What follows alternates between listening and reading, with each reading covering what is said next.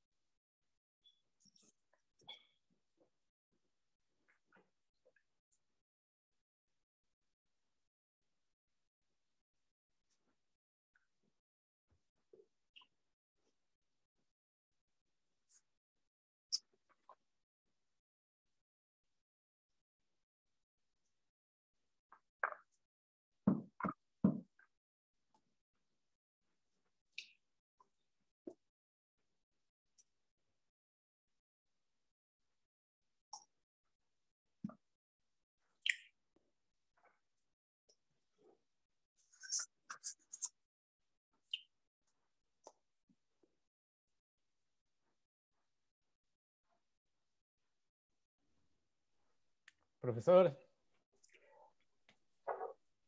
¿Qué tal? ¿Cómo estás? ¿Cómo estás? bien, bien, aquí. No va a decir que estás nervioso. Pues poquito, la verdad, como siempre, ¿no? Siempre, ya, ya tienes muchas tablas, ya, ya. Yo creo que esto lo sabes de memoria. Pues sí, pero siempre a la hora de los chingadazos, como que siempre se siente, ¿no? El primer. Ya no estamos grabando, ¿eh? Ya, ya estamos grabando. Ten cuidado. vocabulario, mi vocabulario. Qué pena. Si quieres, puedes expresarlo en inglés, total. El primer resbalón, ¿ya ve? Ahí está, conectado Isma. Eso es lo que veo. Sí. Ese Isma. ¿Cómo están? ¿Qué tal? Buenas tardes. Buenas tardes, buenas tardes. Buenas tardes. ¿Cómo has estado?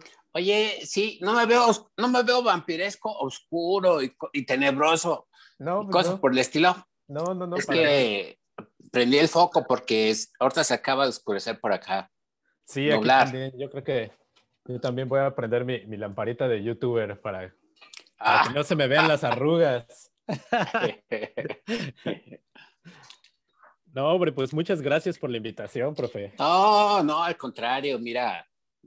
Eh, no, no, este quisiéramos que tener la oportunidad siempre eh, de tener ese tipo, vas a ver, vas a ver, vas a ver, quizás somos poquitos, pero no, pues sinceramente interesados. Exactamente. Bueno, Arturo, Arturo ya, Arturo Robledo va a estar, Ansaldo, Jaime Gravinsky. Jaime Gravinsky ya se, como apenas como si fuera a ir a la escuela, ya, ya hace una hora me está escribiendo que ya está. sí, en serio. Listo para escuchar a Gabo. Como si de, mí dependiera, ¿no? no, pues qué chido, qué gusto saber de todos ustedes, verlos otra vez, que ya tiene tanto tiempo que no nos vemos. Y pues que vean lo que salió de tanta, de tanta chamba. Sí, este, así es. Sí, sí, va a durar un ratito. Creo. Pero yo creo que más que nada es como... Mm, no puedo decir que, regresas a tu casa, pero... Pues sí. Porque somos una casa abierta. Claro, claro, sí, no, pues no, pero sí, ¿cómo decir? Compartir tu experiencia es, es este, para nosotros es un privilegio que, la, que ser el medio nada más. No, hombre, pues para mí también yo estoy muy contento. Acuérdate que antes había un seminario de, de, otro tipo en el área de análisis, pero por ahorita está como en stand-by.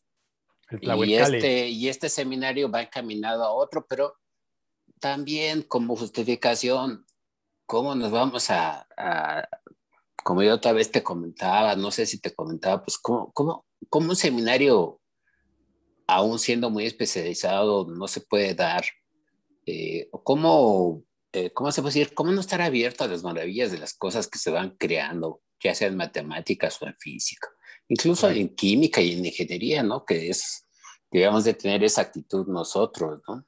Claro, claro, sí, de apertura, ¿no? Pues todavía sigo pensando que no he podido conseguir uno que nos explique con palitos, bueno, más o menos, ¿no? Ajá. Ge- El mo, El, el G-2. sí, no, no, no he podido conseguir. Yo puedo conseguir a alguien, yo creo, pero sería en inglés. Pues, pues no importa, porque por acá, Sí, hay una persona del laboratorio que, que de hecho va a ser el host, eh, porque van a venir los de Fermilab laboratorio, bueno, por Zoom, ¿no? A, a darnos la plática también, como ya un poquito más avanzada, pero hay una persona del laboratorio que está como muy enterado de todo, entonces a lo mejor... tú, tú, tú conoces a, a- ah, pues es, es tu profesor, híjole, Carlos Hernández, sí. sí, digo, ah, órale, ¿cómo que, que de Jefferson Lab? ¿Es que tú no le dices? Es mi asesor. Sí, sí, sí, sí, claro.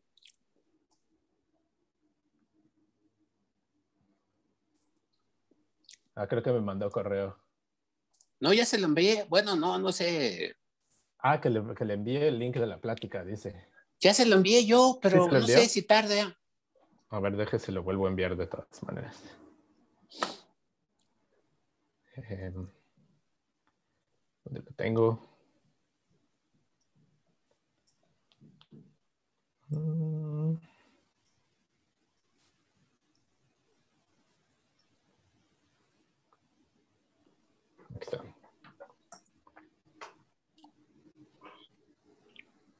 Sí, se lo envié desde hace rato también.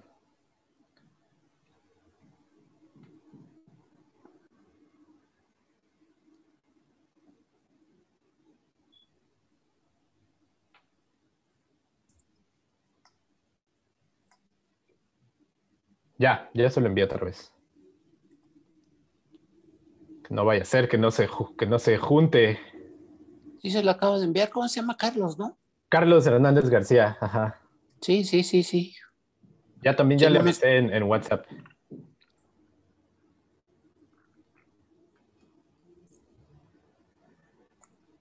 Nada más que como que ya lo perdí.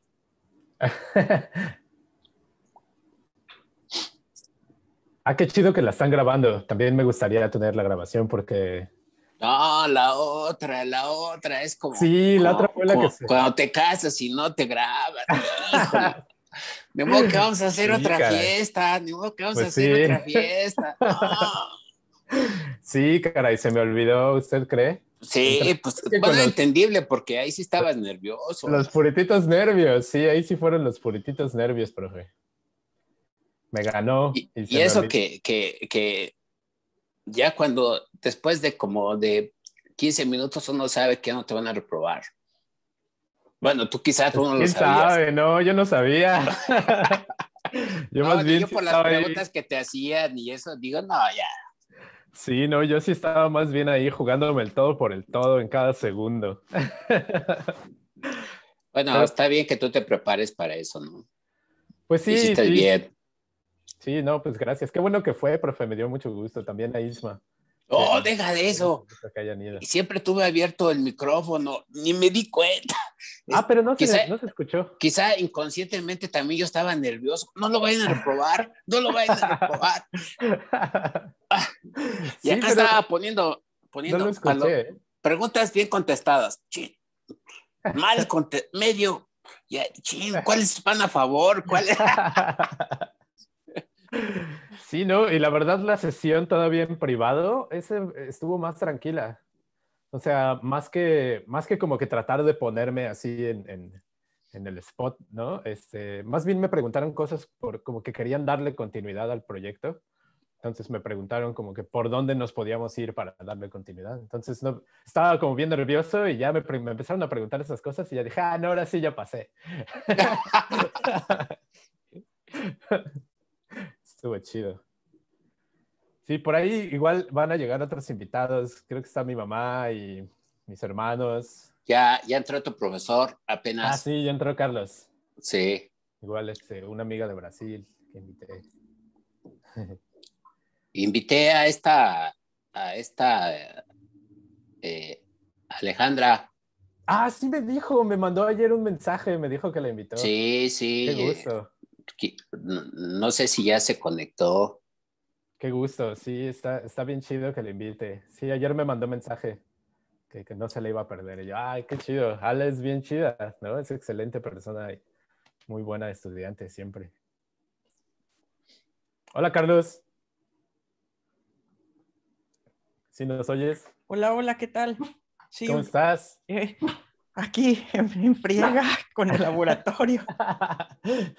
No, hombre, pues gracias por, haber da- por haberte dado un tiempecito. De No, no, con mucho gusto, claro que sí. Sí, sí, Digo, sí. tú ya la viste y todo, ¿no? Pero pues para que no me dejes mentir. Ah, sí, no, para, para, no, ¿cómo crees? O para que para contestes ver- las, las preguntas que no me sé. Yo más bien para ver qué tal este, este, em, los, eh, los estudiantes que van a, este, que van a participar y todo eso para que les platiques tu experiencia de Sí, sí, ¿Cómo? sí. cómo Hola, Edgar. ¿Cómo estás? Edgar, eh, eh, Edgar, eh, recuerda, profe Arellano, que cuando terminé de ser ayudante en la, en la UNAM, digo, en la UAM, me fui de ayudante a la UAM seis meses. Eh, Edgar era el profesor de la materia de física computacional cuando yo fui ayudante ahí en la UAM, antes de, ir- de- de irme al Gabacho. Muchas gracias por venir, Edgar. Qué chido. Qué buena ya onda. ves, Jaime Gravisky, desde anoche se lo envié Ya se... y, y ahorita se lo acabo de enviar dos veces. A ver si no, a ver si no me dice que. Ha de estar ocupado en el SAI. No, es más tarde, más tarde. ¿Es más tarde? Sí, Órale, órale.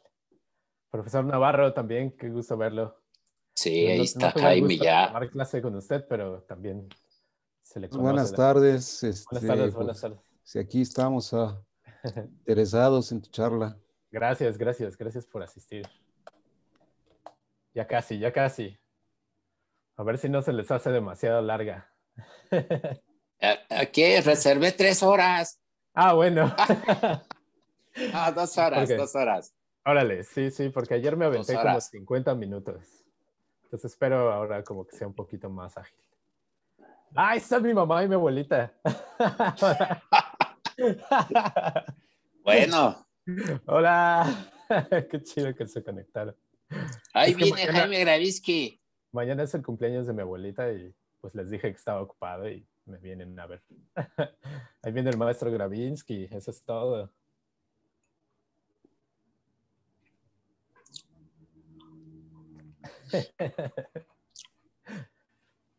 Maestrísimo Gravinsky.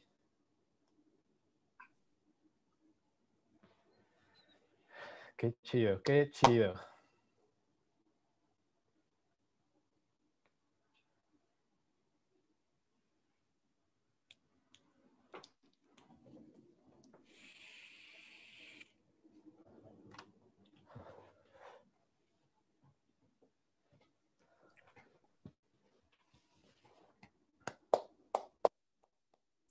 Pues ya, ya sí, ya son las cuatro. Vamos a esperar unos minutos más, ¿no?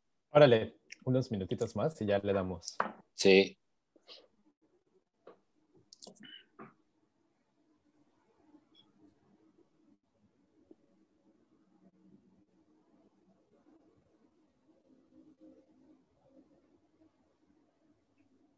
Ah, mi hermano. Chale, puro, pura familia. No, pues es que está bien porque lo que pasa es que eh, a, a mu- muchos no pudieron asistir a mi, a mi, a mi defensa porque pues era en inglés y como que no, no, no le, pues no tenía chiste, ¿no? No tenía caso. Entonces les dije que vinieran a esta, pues es la, la oportunidad perfecta. Bueno, simplemente esperamos que este que estas sean de muchas que te inviten. No, No. pues sí, claro. ¿cómo Pero no? Digamos que ganamos la primicia nosotros, ¿no? Exacto. Ok, ok. Yo con gusto, yo con gusto. Maestro Gravinsky. Y nos pela. Es que él creo que tiene problemas de comunicación, lo hace a través de su Mm. teléfono. Oh, ya, ya, ya veo. No, no sé está Adrián cómo- también. Sí, qué buena onda.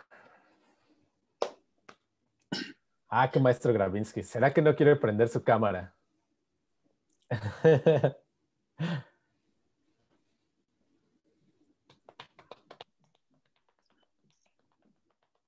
Doc Robledo, ¿qué tal?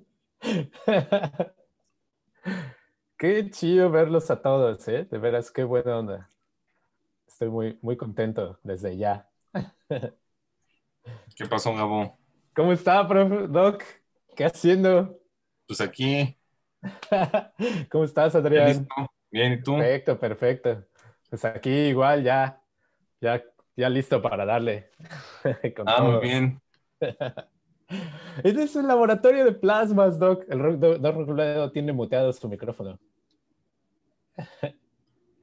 Es un laboratorio de plasmas, me trae tan buenos recuerdos. Qué chido. No, hombre, pues al final vamos a tener que tomar una fotito o algo, ¿no? Porque es buen recuerdo. Este, ¿Ya me escuchas bien? Buenas. Ya, buenas. ya lo escucho, Doc. ¿Cómo está? Bien, bien. Qué bueno verlo. Sí, igualmente es un gusto. ¿Ya terminaste?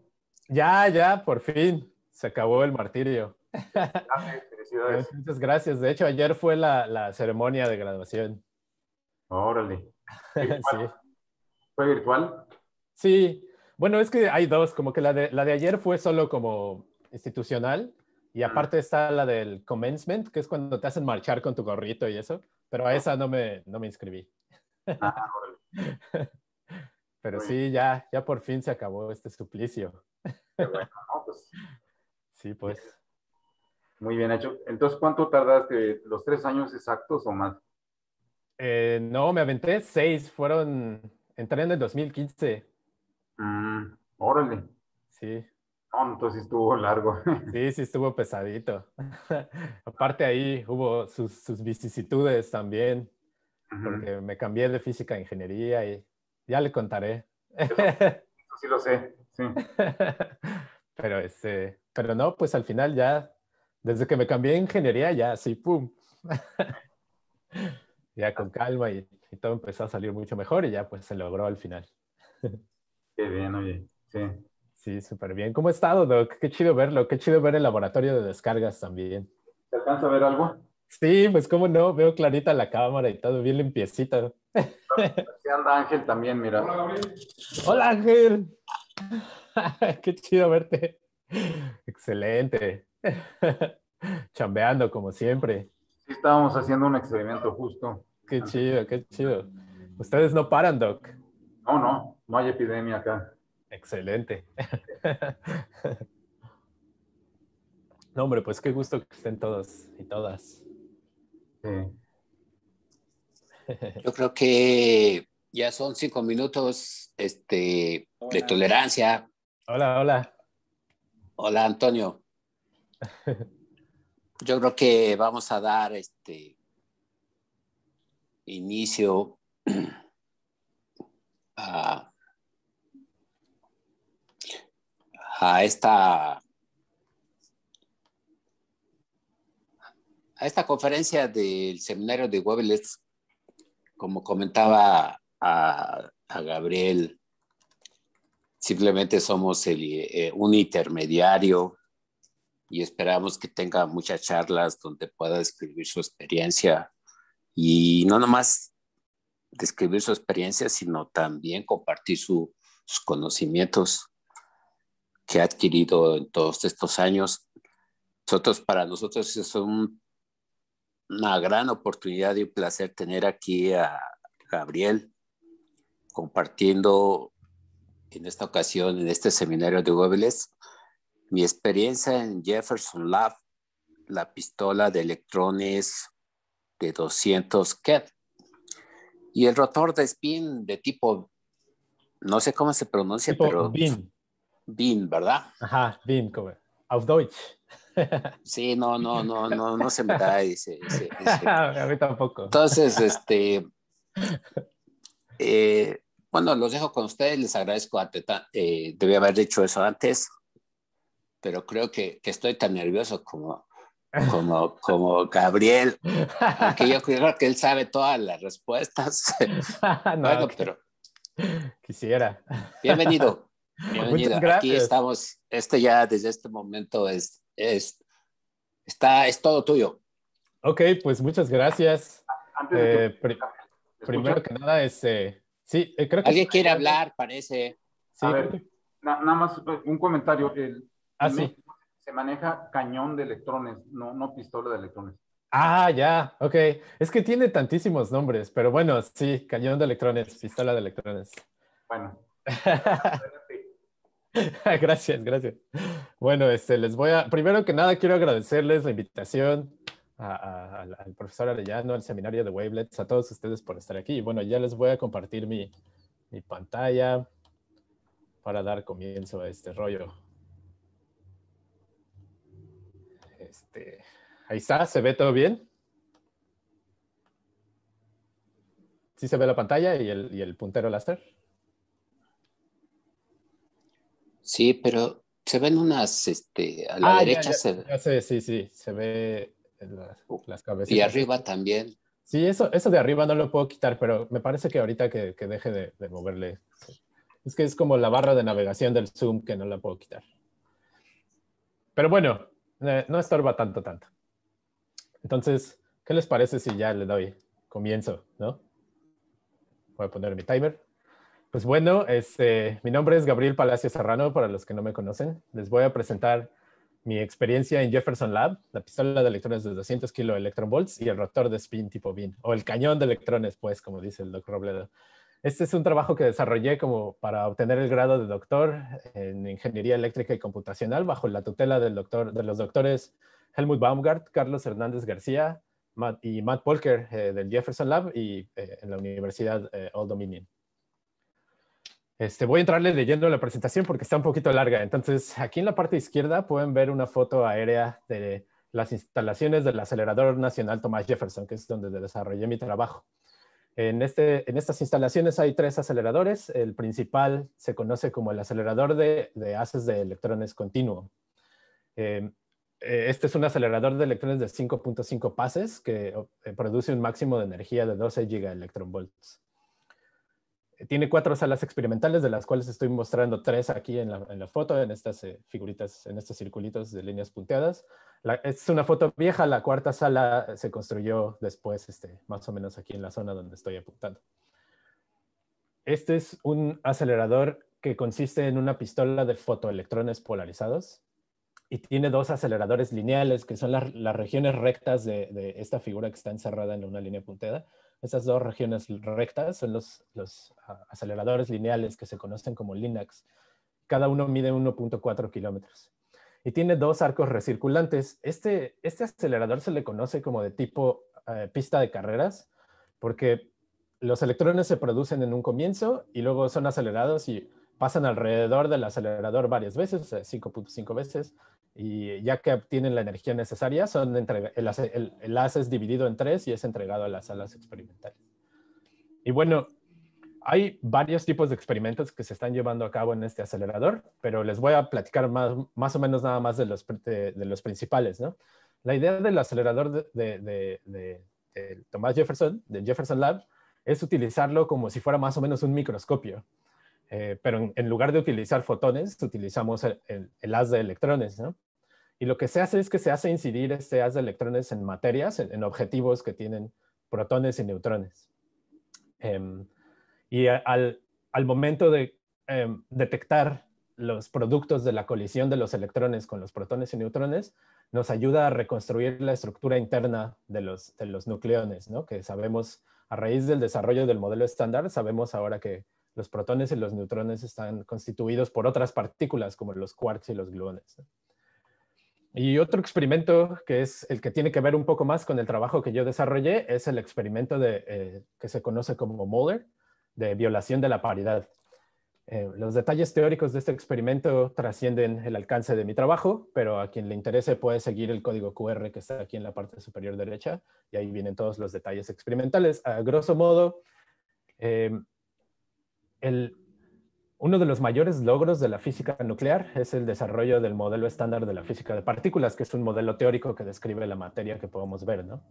Y en una de las predicciones que hace este modelo teórico es que al hacer incidir unas de electrones con, eh, en un objetivo, unas de electrones polarizado en un objetivo de electrones no polarizado, la naturaleza, eh, existe una simetría entre la dispersión que hay cuando, el electro, cuando la polarización tiene una, una dirección u otra. Esta simetría es lo que trata de medir el experimento Moller y tiene que ver con, el, con, lo, que les voy a, con lo que les voy a platicar con mi trabajo. Pero bueno, ahí están los detalles más, este, más, más a profundidad en el, en el link. Pero bueno, como voy a estar hablando mucho de spin, quiero uh, más o menos ponerles la idea en la cabeza de qué es y cómo, cómo lo vamos a tratar en esta, cómo lo voy a tratar en mi plática, ¿no? Entonces, sabemos que los electrones eh, se comportan como dipolos magnéticos. Esta es una cualidad que tienen inherentes uh, los, los, electrones. Aquí estoy tratando de representarlo con esta esferita, ¿no? O sea, como si tuvieran una dirección, se comportan como si fueran un imán, más o menos, ¿no? Y um, en presencia de campos electromagnéticos externos, tienden, este, la dirección de este, de este dipolo tiende a oscilar de, forma análoga al spin macroscópico, que es el, el, momento angular de, de, la, de, los objetos macroscópicos, como el del trompo, por ejemplo. ¿no? Pero lo que tenemos que tener bien en claro es que los electrones en realidad son partículas puntuales. Bueno, las describimos utilizando la física como partículas puntuales, por lo tanto no pueden rotar. O sea, esto es solamente una analogía. ¿no?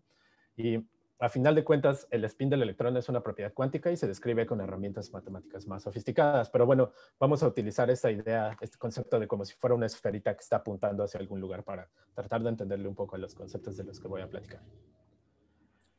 Entonces, en el contexto ya del acelerador Thomas Jefferson, este, aquí les estoy enseñando una caricatura del acelerador, este, eh, del, uh, acelerador de haces continuos, que de, de, aquí en adelante le voy a llamar el CBAF por sus siglas en inglés, ¿no?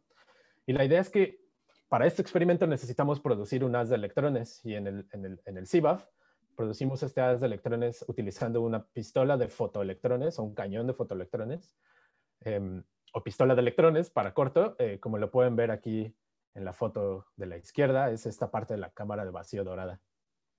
Esta pistola de fotoelectrones está, está eh, basada en un fotoelectrodo de arsenuro de galio, que es un material semiconductor, y produce un haz de electrones con polarización longitudinal, se le llama. Es decir, que la, que la dirección de esta flechita del spin está en dirección, ya sea del, en la misma dirección en la que se mueven los electrones o en la dirección contraria, como lo estoy tratando de expresar aquí con, la, con esta flechita roja con negro. Y entonces sabemos por la física que el spin interactúa con los distintos campos electromagnéticos que tenemos, que producen los dispositivos que tenemos a lo largo del acelerador, como se ve aquí en esta pequeña animación. Y al final, eh, el requerimiento de los experimentos es que nosotros tengamos control y conocimiento preciso de cuál es la, la, alineación del spin al momento que lo entregamos, que entregamos el haz de electrones a las salas experimentales. Y esto lo llevamos a cabo utilizando otro dispositivo denominado el rotor de spin tipo BIN, o también se le conoce como filtro de BIN, pero como nosotros no lo utilizamos para filtrar, pues es el rotor de spin tipo BIN. Este se utiliza en combinación con la pistola de electrones para conocer y controlar la dirección del spin eh, en el electrones. Y bueno, entonces, como les decía, eh, no me gustan las diapositivas con mucho texto, pero solo hay dos. Eh, la motivación y los retos de mi trabajo fueron entonces que este experimento, el experimento Muller, tiene cierto requerimiento en corriente y en la polarización del haz, ¿no? Pues en este caso 75 microamperes de corriente. Y lo que sabemos es que alta corriente en el haz significa que hay muchos electrones presentes en el haz, ¿no? Y como todos los electrones tienen la misma carga, se repelen, ¿no? Esto es lo que significa que producen alta carga espacial, es, producen mucha repulsión, bueno, producen más repulsión ya que hay mu muchos más electrones. Esto a su vez resulta en un incremento de un parámetro que se denomina la emitancia, que nos habla de la dispersión del haz, o sea que como que el, el, haz de electrones se dispersa y entre más se dispersa, más pérdida hay a lo largo de ciertos instrumentos que tenemos en el acelerador y esto incrementa los errores sistemáticos eh, en el experimento que son muy importantes para cuando se, se calcula la estadística y de tratar de, de medir este valor preciso del experimento.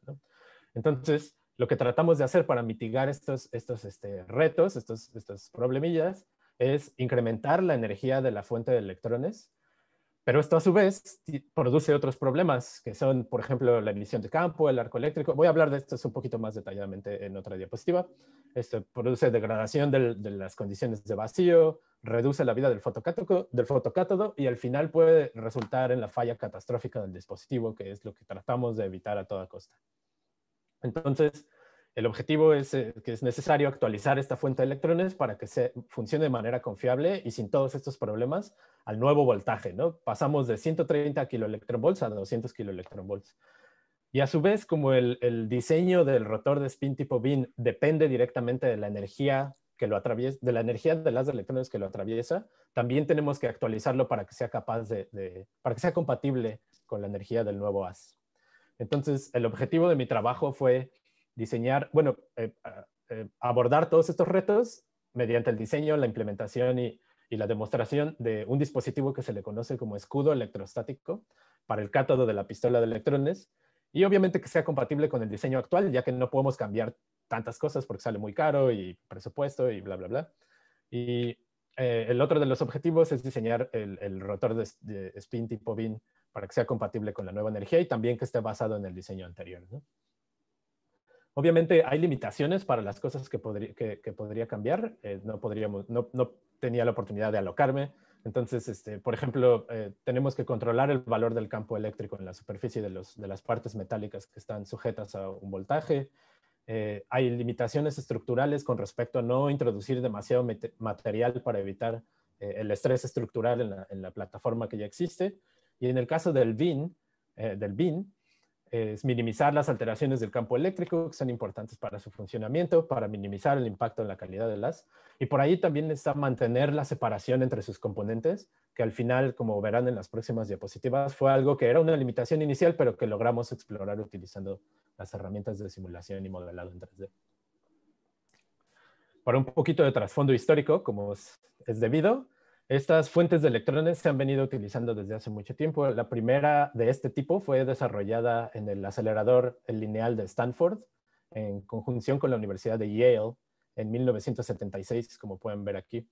Y como suele suceder en la física, una vez que se establece un dispositivo que funciona muy bien para lo que es, el diseño se propaga y se mejora con el tiempo. ¿no?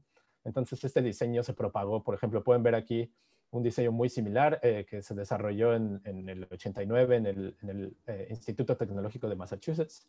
En los 90 se propagó el diseño a la Universidad de Johannes Gutenberg en, Main, en, Mainz, en, uh, Alemania. Y a final de cuentas el diseño se propagó también al Jefferson Lab. Como pueden ver aquí las pistolas que estamos utilizando son muy similares a la de Slack. Están basadas en su mismo diseño. Una vez que transcurrió el tiempo y se fueron realizando mejoras a este diseño, se llegó a la primera fuente de electrones polarizados que se le conoce como con aislante invertido, que es esta, esta formita que está por acá, en el CIBAF en el 2007.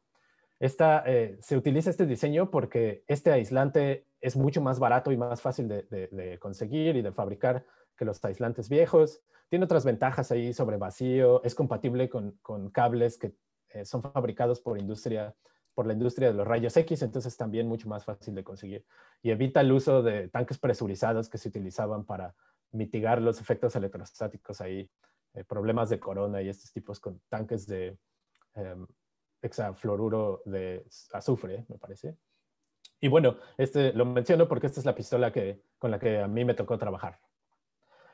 En el caso del, del eh, rotor de tipo BIN, este lo inventó Wilhelm Billy Bean en 1898 lo utilizó por primera vez para medir la relación entre carga y masa del electrón, un año después de la, de la famosa medición de JJ Thomson.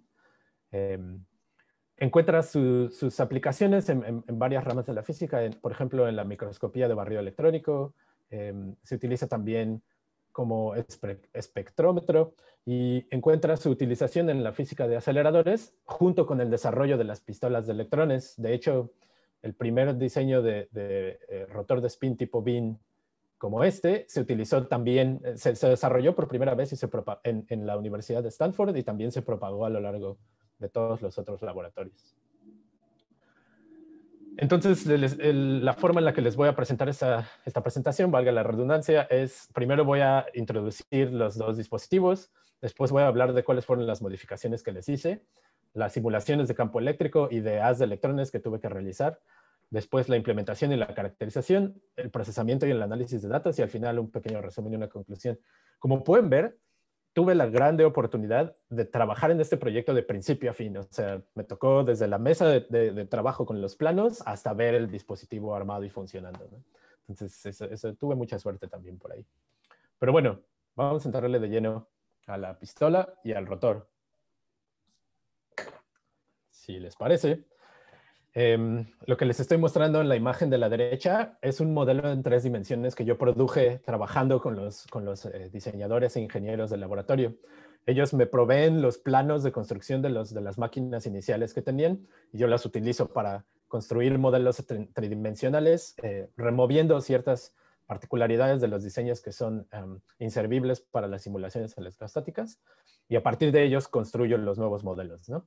Esta es una vista isométrica eh, del modelo que realicé en SolidWorks y bueno, les voy a mencionar las partes para que lo conozcan.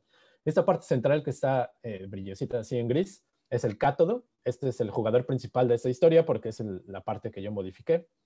En su punta, eh, en esta parte del círculo que tiene en la punta es de donde se produce el haz de electrones. Este está montado a la cámara de vacío mediante un aislante, como les mencionaba, es de un material que se conoce como alumina o es óxido de aluminio. A su vez, en la parte interna, el aislante acepta un cable eh, típico de la industria de los rayos X, que es un cable de goma con un conductor interno que utilizamos para establecer el voltaje en el cátodo. Obviamente tenemos un ánodo y una línea principal. Aquí es el tubito por el que pasa el haz de electrones, digamos. En la parte de abajo tenemos un módulo de... Estas son un, tipo de bombas pasivas que se llaman módulos de absorción tipo NEG. Por sus siglas en inglés significa uh, Non-Evaporable Getter. Em, estas las utilizamos para reducir la presión, digo, en combinación con otras bombas mecánicas, eh, lo utilizamos para reducir la presión de la cámara de vacío al nivel más o menos de 10 a la menos 12 torr, que es el, en el rango del ultraalto vacío, que es este, fundamental para mantener la vida del el fotocátodo, que es muy sensible a las condiciones de vacío. Y al final todo está rodeado por una cámara de vacío, eh, donde aquí esta brida de arriba mide 30.48 centímetros. Pero bueno, para elaborar un poquito sobre cómo producimos el de electrones, en este caso les estoy mostrando una sección transversal de la misma pistola de electrones que les enseñé hace rato. Este, pueden ver que aquí hay varias cosillas como apuntadas. Esta es la foto de, de las bombas pasivas. Aquí está una foto muy bonita del cátodo, que es de la parte que voy a hablar. Y entonces, en la punta del cátodo, quiero dirigir su atención aquí a la parte inferior derecha.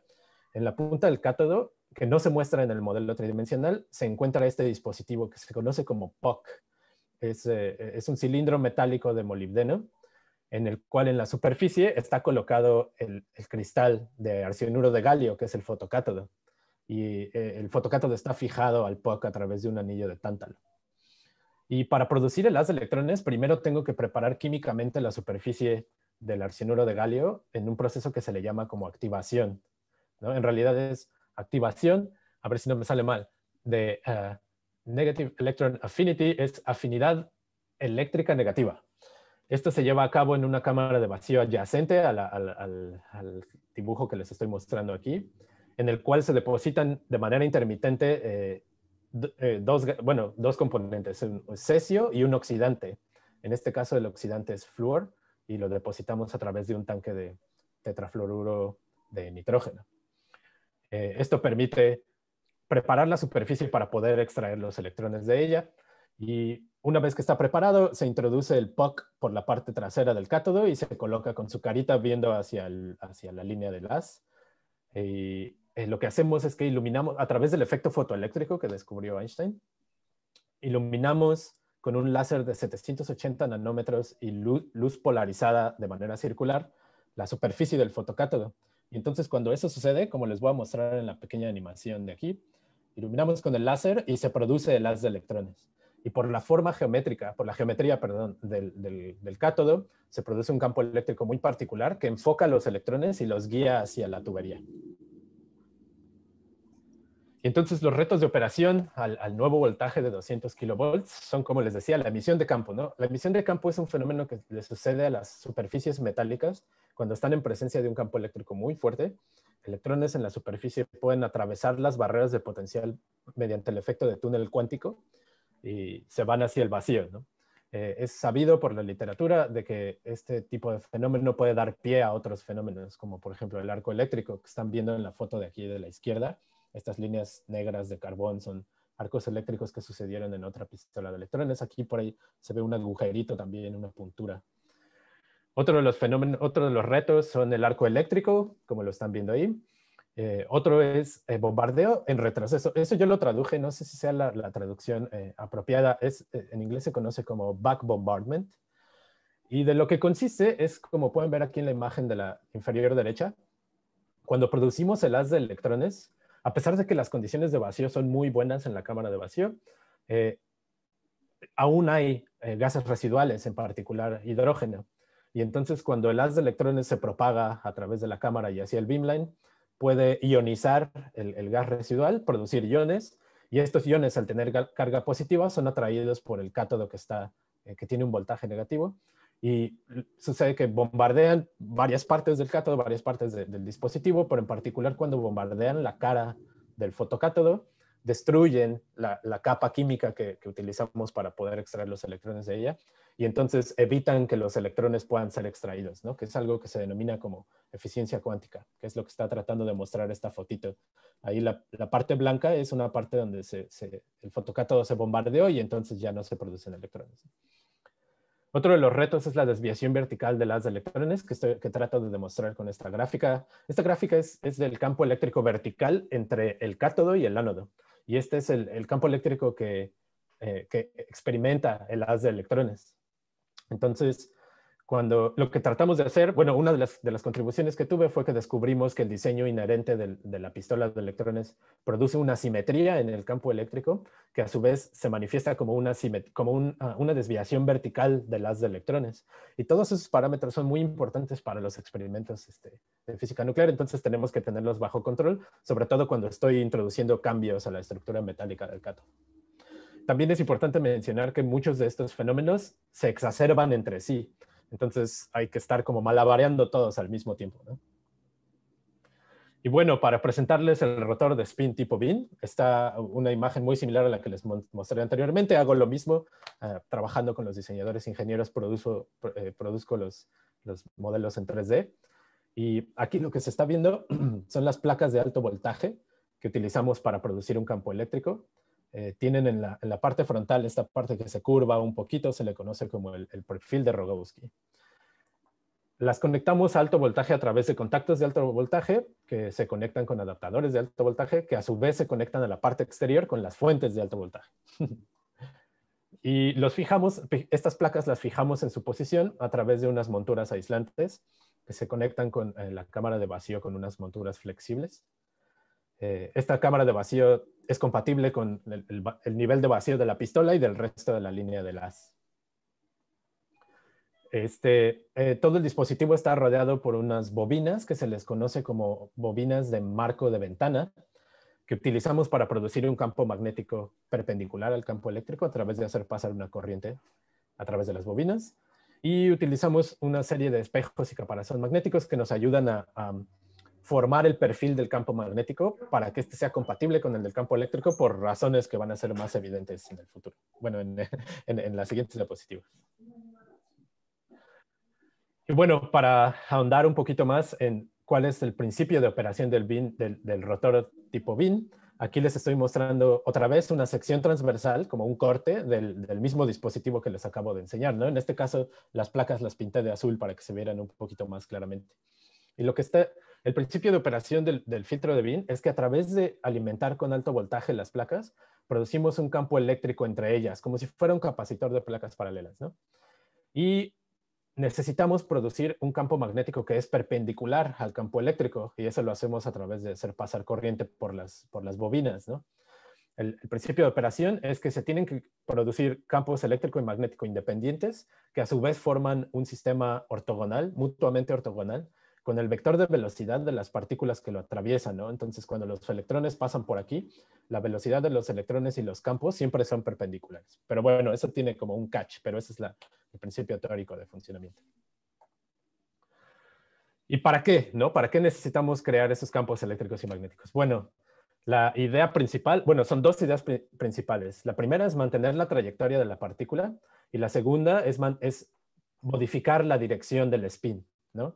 Entonces, como les estoy mostrando aquí en esta pequeña, en, esta pequeña animación, la flecha negra representa la trayectoria de la partícula y la flecha roja representa el spin, cómo va girando cuando atraviesa el dispositivo, ¿no? Esa es la, esa es la, la idea principal. Logramos esto a partir de mantener lo que se conoce como la condición de equilibrio, que quizá puedan reconocer. Esta es la fuerza total que experimentan las partículas cargadas en, el- en presencia del campo eléctrico y el campo magnético externo. ¿no? Y tiene, para que esté en equilibrio, obviamente esta expresión tiene que estar igualada a cero. Y a partir de conocer cuál es el marco de referencia, puedo reescribir esta ecuación en términos de las magnitudes y ya no de los vectores. La rotación del spin la logramos a través de utilizar una ecuación que se conoce como la ecuación de Thomas Bargman Michel Telegdi. Eh, aquí están todos los jugadores de esta ecuación, como pueden ver con sus nombrecitos. Ahí está la anomalía del momento magnético, que es la que está en boca de todos por el experimento de Fermilab. Pero bueno, lo importante es que quiero dirigir su atención a, este primer, a la parte izquierda de la ecuación de Thomas BMT, en donde lo que nos está tratando de decir esta ecuación es cuál es el ritmo de cambio, cómo cambia el ángulo que forma el spin y el vector de velocidad de, de los electrones con respecto al tiempo. ¿no? Nos está diciendo cómo está cambiando ese ángulo. Esto es en el marco de referencia de la partícula, porque necesitamos utilizar eh, relatividad especial. Y lo, más, lo que a mí me hace más interesante esta expresión es que está en términos de los campos magnético y eléctrico externos. ¿no? Ese, es, ese es un resultado muy interesante. Y que aparte, si se clavan, pueden notar que la contribución del campo eléctrico es mayor que la del campo magnético en este caso, que es algo que todavía nos discuten mucho por ahí. Pero está interesante. Eh, en fin, eh, la idea es utilizar esta expresión, simplificarla a partir de tomar, eh, de, hacer, asumir ciertas cosas. Podemos simplificarla para poner el ángulo de rotación del spin en términos de varios parámetros que conocemos y de la magnitud del campo magnético. Entonces, ¿para qué quiero hacer eso? Bueno, simplifiqué estas operaciones para poder calcular los parámetros de operación del dispositivo. Entonces, a través del marco matemático de, la relatividad especial, conociendo la energía del, del, haz de partículas, que es de 200 kiloelectronvolts, y sabiendo que queremos crear una rotación de spin de 100 grados, en realidad son 90 grados, pero como es un objetivo ingenieril, siempre es 90 grados más 10% menos 10%, ¿no? Entonces, en este caso es más o menos 100 grados. Eh, partimos de la ecuación de la energía cinética relativista, como pueden ver aquí, y la, voy a, la utilizo para calcular el factor de Lorentz, que es la corrección relativista. A su vez, uso el factor de Lorentz para calcular la velocidad normalizada a la velocidad de la luz. Esta es la velocidad de las partículas que están atravesando el dispositivo, normalizadas a la velocidad de la luz, que se conoce como el factor beta. Y todo esto lo hago para poder introducir esos valores en conjunción con las constantes que ya conocemos, la masa del electrón, la velocidad de la luz, la carga del electrón y la longitud, de nuestro, la longitud efectiva de nuestro dispositivo. Y con todos esos valores, pra, pra, pra, los metemos en una calculadora y podemos obtener el valor del campo magnético que necesito para rotar 100 grados un haz de 200 kiloelectronvoltios. ¿no? Este es un valor que puedo utilizar para calcular la corriente que necesito pasar en las bobinas para eh, lograr el objetivo. ¿no? Entonces ya tenemos un parámetro de operación. Para calcular el otro parámetro de operación, utilizo ese que recién calculé y lo, y lo sustituyo en la condición de equilibrio. Por lo tanto, puedo calcular el campo eléctrico a partir de conocer otra vez los valores que ya habíamos calculado y ¡bam! Tenemos el campo eléctrico. ¿no? A final de cuentas, esta conjunción entre el campo eléctrico y el campo magnético van a lograr mantener la trayectoria estable, pero rotar el spin la cantidad de grados que yo quiero. A final de cuentas, cuando trabajo con este dispositivo, no utilizo el campo eléctrico, utilizo el potencial, porque pues son las, las, uh, las perillas de, de, la, de, la, fuente de voltaje. Entonces, sabiendo que la separación entre las placas es de 0.15 metros, podemos calcular el potencial, ¿no? Y ya lo tenemos. Esto significa, lo que nos está diciendo esto es que cada placa, la placa superior o la inferior, tendría que, ser este, tendría que tener un potencial de 20 kilovolts y la placa inferior un potencial de menos 20 kilovolts para crear este campo eléctrico, ¿no? Final de cuentas, estos son los valorcitos que ya metemos en, en nuestra fuente de poder. Y listo, ya, ya sabemos cómo funciona. Entonces, ¿cuáles son las modificaciones?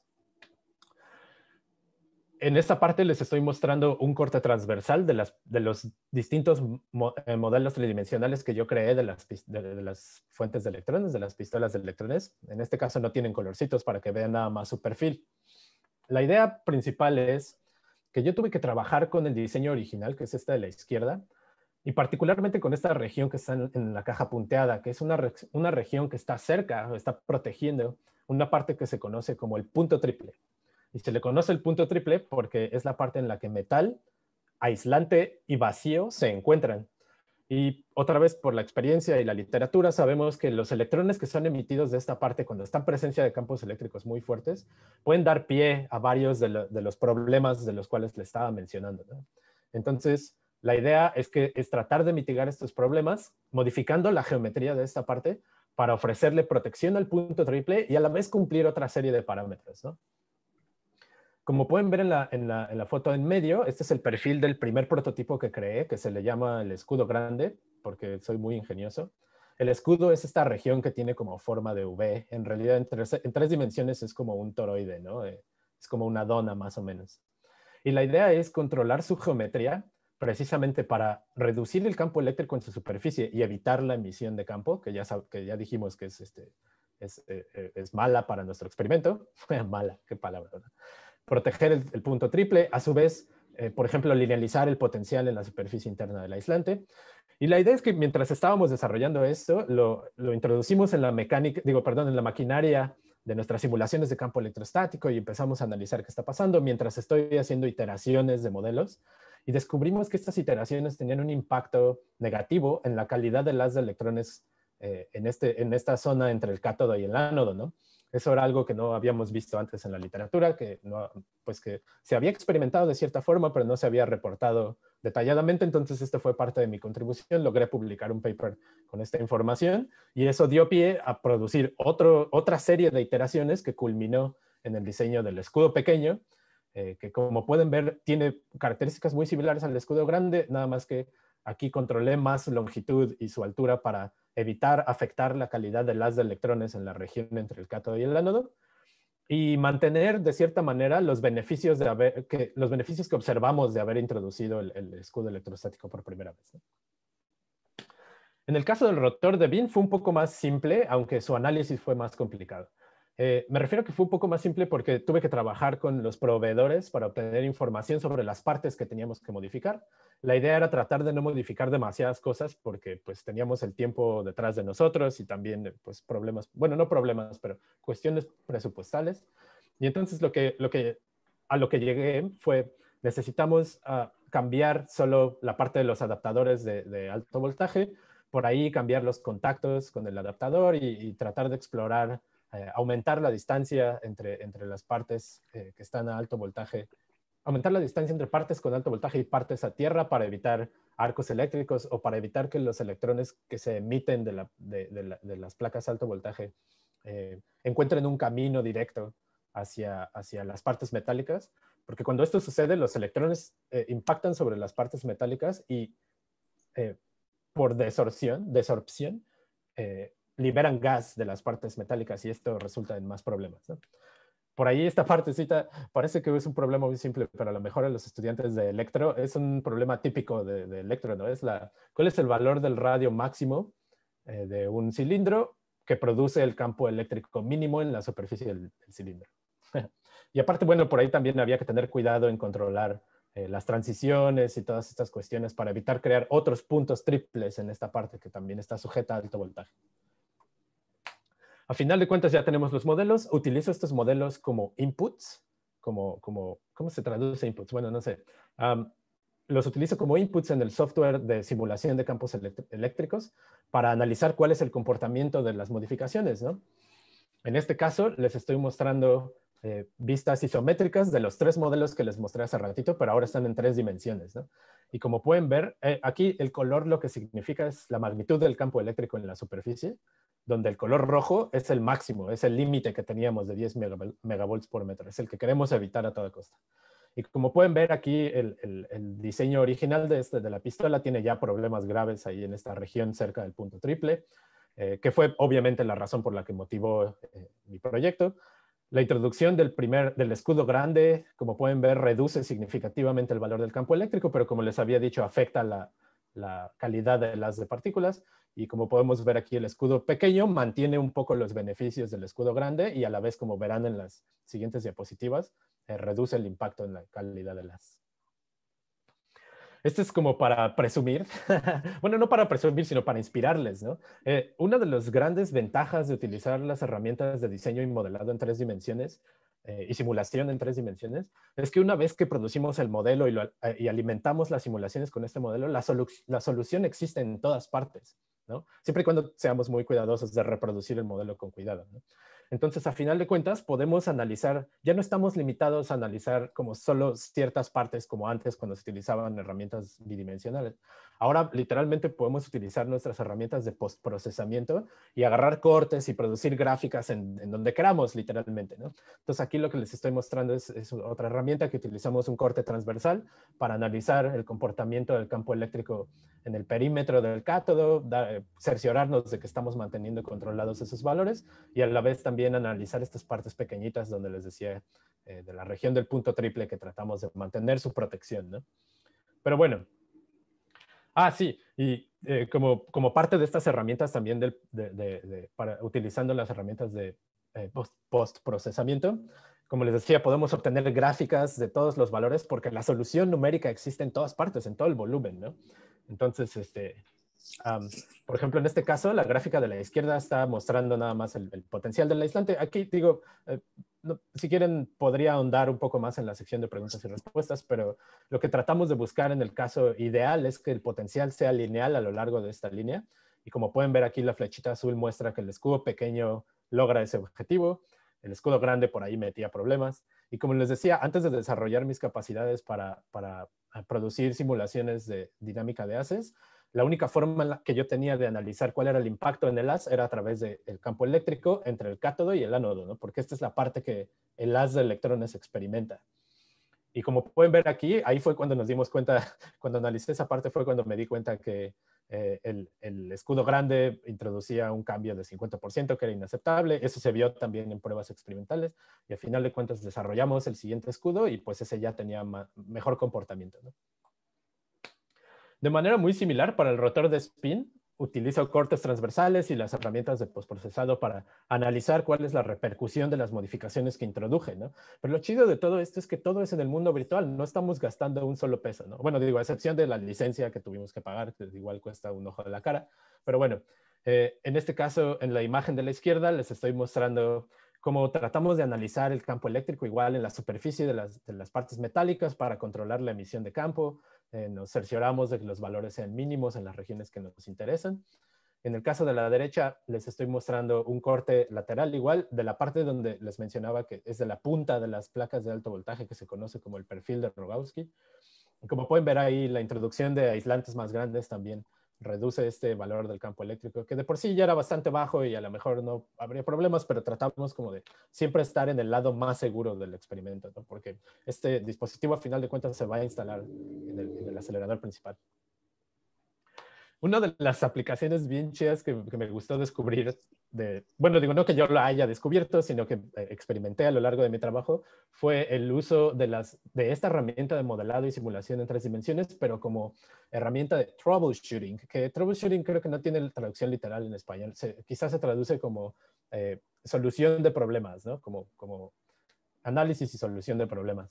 La idea es que una vez que estábamos llevando a, llevando a cabo las pruebas de alto voltaje ya en la máquina física, nos dimos cuenta de un comportamiento que era inesperado e indeseado. ¿no? El, el, de repente el vacío empezó a, a, presentar una señal que no sabíamos de dónde venía y todo. Y entonces la idea fue, ah, bueno, pues si tenemos las herramientas de simulación, podemos introducir cambios en nuestras herramientas de simulación, eh, estudiar el cambio del comportamiento del campo eléctrico y de otros parámetros, y a partir de eso eh, como definir qué podríamos hacer para mejorar o, tratar de, averiguar de dónde está surgiendo ese comportamiento.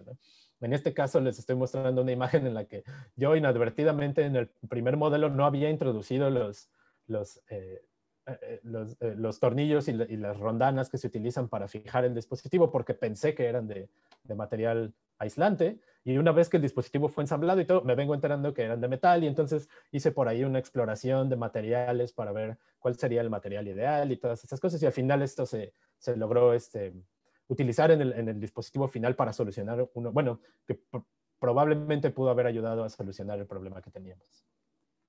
De manera similar, en uno de los experimentos estábamos observando también una respuesta un poquito rara del dispositivo, que, era, el, vacío se estaba comportando de una manera indeseable y pensaba, eh, eh, una de las hipótesis era puede ser que las placas estén defectuosas, ¿no? que tengan protuberancias en la superficie que estén produciendo emisión de campo. Y entonces, para, para tratar de averiguar cuál era la razón, pero también para darle certeza a nuestros jefes, a mis jefes, eh, a mis empleadores, de que este dispositivo podría utilizarse de cualquier manera en el acelerador. Exploré cambiar la distancia entre las placas, por ejemplo, lo que me permitiría reducir el potencial en la superficie, eh, produciendo la misma rotación de spin y, manteniendo la trayectoria fija, pero por lo tanto me ayuda a reducir el campo eléctrico en la superficie y eso ayudaría a mitigar la emisión de campo. Esta también, bueno, eh, otro de los, ejemplos de este mismo caso en donde puede ser que una de las placas esté fallando, por ahí exploré cambiar las dimensiones de regiones que tenían campo eléctrico muy alto, o por ejemplo esta que fue una también este, novedosa, que es eh, en el caso de que solo una de las placas sea defectuosa, podemos establecer el potencial de manera asimétrica, es decir, una placa con un potencial más alto que el otro, que la otra, y esto nos ayuda otra vez a, obtener la misma rotación de spin, mantener la trayectoria fija y, operar una de las placas en caso de que esté defectuosa a un menor potencial. ¿no? Esto sería, es, muy valioso para la operación perdón, del acelerador eh, en el mundo real, porque en el caso de que algo llegara a fallar en este dispositivo, nos meteríamos en muchos problemas. Y la verdad que cuando, cuando el, cuando el acelerador deja de funcionar, cuando tiene que estar funcionando y deja de funcionar por algún problema, se pierde mucho tiempo y mucho dinero valioso porque podríamos estar utilizando en hacer experimentos de física fundamental. Entonces, por eso también fue importante hacer esta exploración. Al final, de todos estos casos que les dije, tuve también que producir resultados sobre la dinámica de haces, que ya no voy a tener tiempo de meterme como tan de lleno en esa parte, pero de todos y cada uno de estos ejemplos se tuvo que analizar cuál era el comportamiento de las una vez que hacíamos estos cambios. Y bueno, ese es el, el cue para entrar directo a la dinámica de las. Esta parte me gusta mucho, aunque está más atacada. Pero bueno, la idea es otra vez eh, beneficiándonos de, de, las herramientas de diseño y modelado en tres dimensiones, lo que puedo hacer es utilizar las, herramientas de postprocesamiento para extraer información del campo, del valor del campo eléctrico en volúmenes particulares, ¿no? en un volumen particular. En este caso, el que nos interesa es la región entre el cátodo y el ánodo, porque es la región que el haz de electrones experimenta. ¿no? Y la idea es utilizar estos archivos en combinación con otro software que se llama Pulsar Physics General Particle Tracer. Y la idea de esto es que este es un software que nos permite reconstruir las trayectorias del, de, haz de electrones a partir de una descripción eh, clara de, cuál es la distribución de los electrones cuando son emitidos. Y es, es, una herramienta excelente porque a final de cuentas nos permite pues simular cómo se comportaría el haz en el mundo real, ¿no? Obviamente con sus debidas, con sus bemoles, ¿no? La idea de mostrarle aquí, no me voy a meter de lleno en esta parte, si quieren en la parte de preguntas y respuestas, pero la idea es que, por ejemplo, podemos ver cuál es la, la desviación vertical del haz de partículas, que es lo que están viendo aquí en la izquierda. O sea, esto es como si ya fuera el haz, ¿no? Más o menos, digo, no directamente, pero bueno. Eh, y aquí pueden ver que la flechita azul lo que está mostrando es que otra vez el escudo pequeño logra mantener la, la, desviación lo, lo, más cercana al diseño original posible. ¿no? Y por ahí también descubrimos que el diseño original pues tenía esta desviación que ya habían observado en la máquina, pero que nunca habían descrito como a fondo. Y por aquí les estoy mostrando también en la parte derecha el comportamiento de la emitancia normalizada. Este es el parámetro que les digo que habla de la dispersión de las, ¿no? Y hay muchos más que utilizamos para describir como todo lo que está pasando en los electrones mientras experimentan el campo eléctrico producido por, por los cambios que yo introduje, ¿no? Entonces es muy importante para el, para el desarrollo de estas, de estas partecitas. Y bueno, esto también es como para pantallar, y ya si quieren al final lo, lo podemos platicar si alguien está interesado. La idea es que en el caso del, rotor de spin tipo BIN, ven que las modificaciones fueron como muy simplecitas y todo, ¿no? Pero para poder, para poner este, este dispositivo en marcha, tenemos que estar completamente seguros que todo lo que pasa en los electrones mientras lo atraviesan de entrada tiene que ser similar al, al- al dispositivo anterior y si no es similar tenemos que cuantificar qué tan disímil es del, del- del- del comportamiento original, porque este dispositivo no estaba hecho para esta energía, ¿no?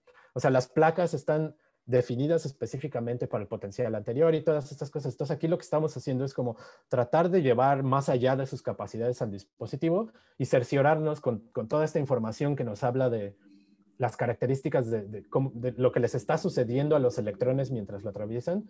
Lo que estamos haciendo aquí es analizar ese comportamiento para nosotros como físicos entender qué está pasando y también para a nuestros empleadores y a los operadores del acelerador darles certeza de que el dispositivo se va a, se va a comportar bien, ¿no? Y pues proveerles de, parámetros y valores que en el futuro podrían comprobar con data experimental.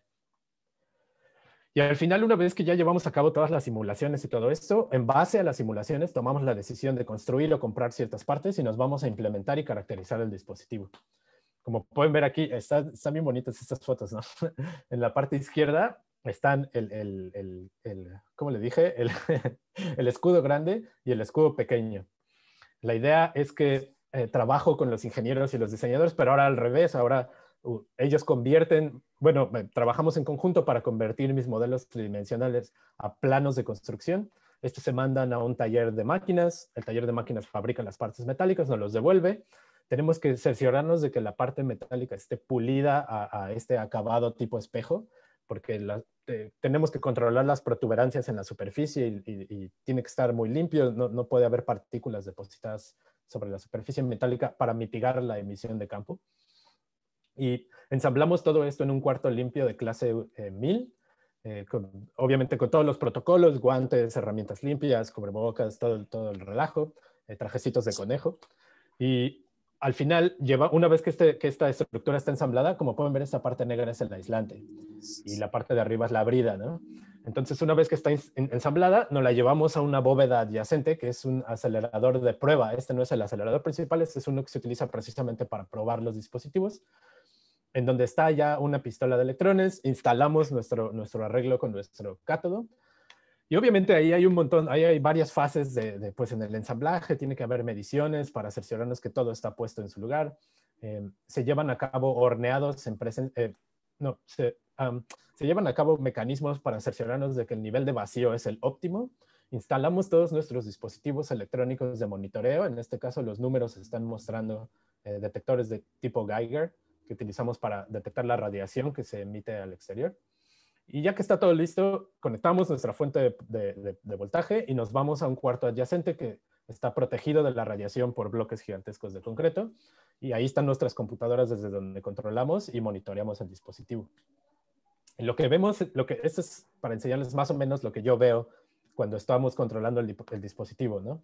La idea es, eh, eh, yo sé que hay muchas cositas por aquí pasando, pero bueno, la idea es, la señal de arriba es el voltaje, la roja es la corriente en la fuente, la verde es el comportamiento del vacío que, que monitoreamos indirectamente a partir de la corriente en, en las, en las bombas de vacío, en unas bombas de iones, y los monitores de radiación que les enseñé ahí en la fotito con los números, ¿no? Y digo, eh, para, no, eh, para no hacer la historia demasiado larga, la idea es que cuando hay emisión de campo, estos electrones que son emitidos de la superficie metálica pueden ionizar el gas residual adentro de la cámara de vacío y esto es lo que produce las señales verdes, ¿no? la, señal de vacío. Está- están deteriorando las condiciones de vacío. Y a la vez, estos electrones pueden impactar en la parte interna de la cámara de vacío y por el proceso denominado Bremsstrahlung o radiación de frenado, eh, por eh, conservación de energía, emiten radiación hacia el exterior, ¿no? Y esto es lo que vemos como señales en, en los monitores de radiación. Entonces, siempre que vemos eh, vacío con radiación y a veces eh, también hay señal de corriente en la, fuente, sabemos que, hay un, que está llevándose a cabo un proceso de emisión de campo. Obviamente mientras estamos elevando el potencial ¿no?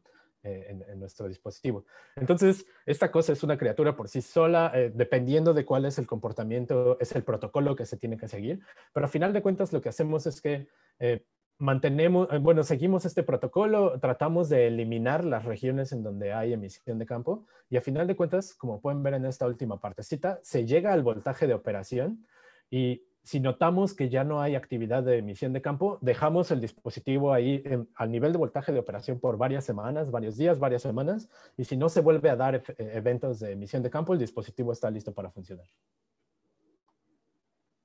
A final de cuentas, para, para el, rotor de tipo BIN es muy similar. Igual eh, hay partes que se compran o se manufacturan, se, tienen que pulir. Me tocó también por ahí probar y reparar otras partes. Hay una fase de ensamblaje, de metrología. Un grupo independiente del laboratorio eh, llega, bueno, no independiente del laboratorio, un grupo del laboratorio independiente a nosotros se, se cerciora que todo esté instalado eh, eh, con precisión, obviamente dentro de ciertas tolerancias y se le hacen pruebas de vacío al dispositivo para cer- cerciorarnos que el vacío es óptimo. Aquí me, me permitieron pintar, bueno, yo no lo pinté, pero me- nos dieron autorización de pintarlo de azul por mi cabello. Y al final igual el dispositivo está listo para ser caracterizado. ¿no? Y bueno, el proceso es muy similar a lo que les dije hace ratito, nada más que quiero utilizar esta, esta diapositiva para dar pie al último tema. Eh, al final de cuentas les estoy mostrando aquí en la parte izquierda que es lo mismo, no es el monitor de la computadora cuando estamos subiendo el voltaje, monitoreando el vacío y la radiación. Pero como son demasiadas pruebas y producen un montón de archivos y los archivos son muy grandes y tienen mucho ruido y todo, esto fue una oportunidad para utilizar mis, eh, mis, eh, hacer gala de mis herramientas de coder y desarrollando código en Python para tomar como inputs los, los- la- las salidas de, de los monitores que utilizamos, como a hacer una criba de todo lo que no necesitamos y producir directamente gráficas que nos ayudan a, pues a observar el comportamiento de nuestro dispositivo. Ay, miren, este es el, el experimento que, bueno, este es uno de los experimentos que les estaba mencionando. En este caso, lo que está mostrando la gráfica es el comportamiento de la bomba de vacío como función del voltaje, cuando estamos subiendo el voltaje en las placas del, del rotor de spin. Y nosotros normalmente esperaríamos una línea, ¿no? Como la línea esta roja, y estábamos viendo ahí esta actividad de, de vacío y decíamos, no, como, no, no, esto no está bien y de dónde está saliendo. Fue que implementamos las herramientas de troubleshooting con las simulaciones y al final implementamos los resultados de esas herramientas, tuvimos que abrir el, dispositivo y cambiar varias cosas y todo, y al final repetimos la prueba y ¡bam! se comporta como esperábamos, ¿no? Entonces fue algo, fue algo muy satisfactorio. Y bueno, como les decía, ah, pues obviamente tiene que haber una fase de procesamiento y análisis de datos. Eh, no voy a hablar como de lleno en esto tampoco porque pues cada, cada cosa puede estarme ahí horas, ¿no? Pero la idea es como utilizar las herramientas de código en Python para, como les decía, digerir los, los archivos que producen nuestras salidas y obtener información como más precisa de lo que estamos haciendo. Eh, más importante creo yo, bueno, no más importante, pero en un- uno de los casos eh, que eran más importantes para mi trabajo en particular, era producir la validación experimental de las simulaciones, ¿no? Aquí tuve la gran suerte de poder manejar el acelerador, literalmente estar ahí en el cuarto de control, producir haz de electrones, obtener data experimental y luego cotejar esta data experimental con otra serie de simulaciones que hice para cerciorarnos de que las simulaciones nos estén diciendo la verdad, ¿no? Si no, nada más estamos volando a ciegas. Entonces, pues por ahí también se, se tuvo la oportunidad de hacer todo eso. Y bueno, pues ya casi finalmente, creo que quedan tres diapositivas. Eh, como parte de mi investigación para obtener el grado de doctor, eh, logré publicar estos, los siguientes artículos en revistas eh, arbitradas y eh, de revisión por pares. En el Review Scientific Instruments publiqué el, el hallazgo este de la, de la correlación entre el, el, el, escudo y la desviación del as. Eh, recientemente nos aceptaron este, este otro paper para presentarlo en la Conferencia Internacional de Física de Aceleradores que se va a llevar a cabo en mayo de este año, eh, obviamente por Zoom. Eh, tenemos un manuscrito por publicar de, que explica todo lo que está detrás de, de, del el rotor de spin tipo BIN que está eh, sometido, a, ahora ya está en la fase de revisión interna en el laboratorio. Tenemos este otro que, ay, ahí no se ve, pero tenemos este otro que se publicó. Ah, digo, y bueno, eh, también tuve la oportunidad de, de colaborar como, uh, como aparte de mi proyecto principal, tuve la oportunidad de colaborar en, otro, en varios otros proyectos con compañeros de la universidad. En el caso del de arriba, trabajé con Josh Joskowitz en producir simulaciones de producción de iones y back bombardment, lo que les decía, este bombardeo en retroceso, con uno de los creadores del, lenguaje de programación que utilizamos para calcular la, dinámica de enlaces, el doctor Bas van der Geer, que es a todo dar. Este, y bueno, se, publicó esto en Proceedings of Science. También se pre presentamos este trabajo con una estudiante de Sri Lanka, Sajini Wijetunga, se presentó en la Conferencia Internacional de Física de Aceleradores en Australia en el 2019 sobre eh, simulaciones de estudios de la emitancia en haz magnetizado, que parece que está en boca de todos también ahora. Y finalmente, pues este, tuve la gran oportunidad de participar en este proyecto que tomó varios años llevar a cabo, que fue el diseño de otro tipo de pistola de electrones muy similar, pero esta no produce haz polarizado de 300 kilovolts, con literalmente, bueno, casi que todo el equipo de, aceleradores de, ahí del, laboratorio Thomas Jefferson. Y pues bueno, ya para finalizar, logré desarrollar una metodología que se va a poder utilizar en el, laboratorio y en otros lugares para desarrollar y analizar este tipo de, eh, dispositivos electrostáticos. Encontré la correlación entre el estudio y la desviación, entre el escudo y la desviación de las de electrones, que fue lo que logré publicar. Y pues gracias a mi trabajo, al final de cuentas se logró construir la pistola de fotoelectrones que demostró más de 500 horas de haz polarizado para un experimento, para otro experimento en el laboratorio que se conoce como el HDICE, eh, siendo la única fuente de haz polarizado del mundo capaz de operar a, a menos 200 kilovolts. Ahí hay un dedazo. Eh, aquí pueden ver una fotito que tiene, digo, es un poquito difícil de verla, pero aquí donde está apuntando la flecha, ese puntito blanco es cuando logramos producir el as por primera vez. Y llevo esa foto en el corazón. Eh, estamos muy orgullosos de eso, muy humildes también.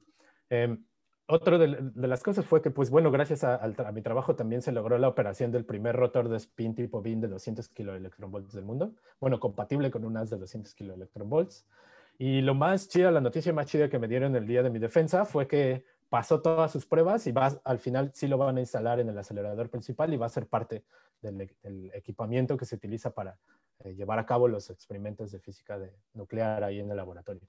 Y pues en el futuro espero que, lo, que, lo que desarrollé, que la parte de mi trabajo que desarrollé, eh, podría ser utilizada en otros proyectos a futuro, como son el, el colisionador de iones electrones, que ya está aprobado y está por construirse en el laboratorio, eh, en el acelerador nacional de Brookhaven, en Upton, New York, que es a donde este, pues estoy muy ansioso de que me respondan porque espero poder irme a trabajar para allá. Otro de los proyectos en los que podría utilizarse es el eh, colisionador lineal internacional, que pues todavía no es muy seguro, pero está por construirse quizá en Japón. Y bueno, varios otros laboratorios y aplicaciones. ¿no? Pues listo, es todo lo que tengo para ustedes. No puedo irme sin agradecerle al doctor Carlos Hernández García, al doctor Matt Polker y al doctor Helmut Bunker, mis asesores de, de, aquí de Estados Unidos.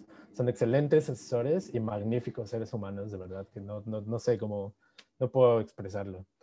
No sé cómo, pues. Uh, quiero agradecerle al grupo de inyectores y fuentes, a todo el personal del JLab, a mi alma mater, la Guamas Capotzalco. Me siento muy, estoy muy feliz de que me hayan invitado, la verdad, estoy muy contento.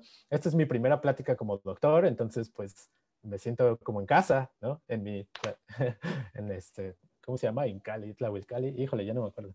Y bueno, a todos ustedes por su atención y no quiero perder la oportunidad de agradecerle a los profesores Gravinsky, de la UAMAS Capzalco, Gravinsky, Arellano, Sam, a, nuestro Sam que ya no está con nosotros, Arturo Robledo, Roneri, Kuno, Saldaña, Cesario, Felipe Monroy, Ernesto Cerón y Adrián Espínola. De veras que mi viaje empezó ahí con ustedes y de veras que les agradezco de todo corazón todo lo que han hecho por nosotros. Fueron excelentes profesores y de no haber sido por haber estudiado con ustedes, quién sabe dónde estaría. Estas son mis referencias, son muchas, montones. Ay, bueno, ya nada más esta cosita rápido. Eh, ya este es el fin. Eh, este es un código QR que pueden seguir para, los lleva a mi, a mi perfil de ResearchGate, que es como el Facebook de los científicos. Este del centro lo lleva a la página del Jefferson Lab. Ahí pueden encontrar información sobre las estancias y las posiciones que se pueden llevar a cabo y aparte información sobre los experimentos en general. El de la izquierda es un link de la CEMAP, que es la Comunidad Mexicana de Aceleradores de Partículas, de la que formo parte. Eh, estamos haciendo, eh, estamos muy emocionados de hacer trabajo para atraer a la juventud a este, a este ámbito de los aceleradores de partículas. Necesitamos gente que trabaje con nosotros y que haga investigación fundamental en física de aceleradores de partículas. En particular, necesitamos diversificar nuestro medio también, porque no sé si vieron, pero en esas fotos la mayoría son hombres. Bueno, somos hombres. Y a final de cuentas, la comunidad de aceleradores te necesita. Este es un, un código QR que los lleva al link del concurso que que me permitió llegar hasta, hasta el laboratorio, que es un concurso que lleva a cabo la División de Partículas y Campos de la Sociedad Mexicana de Física. Lo llevan a cabo cada año y cada año mandan al extranjero, me parece que a cuatro a cinco estudiantes mexicanos eh, los, los mandan a laboratorios de aceleradores de aceleradores de partículas en Europa y en Estados Unidos. Eh, fue gracias a eso que yo pude venir en 2013 y luego me regresé a la UAM, terminé y, y tuve la oportunidad de venir y, y hacer el, el- el estudios de doctorado aquí. Entonces, por ahí si les gusta, tómenle una foto a eso y- o si no, me pueden mandar un correo y yo les hago llegar esta información. Muchas gracias por su atención a todas. Uy, sí me extendí. No, no hay, no hay problema, eh, Muchas, muchas gracias. Gabriel. Bueno, nada más ahora pasamos a, a- a aquí a una sección de preguntas. No sé si alguien tenga alguna pregunta.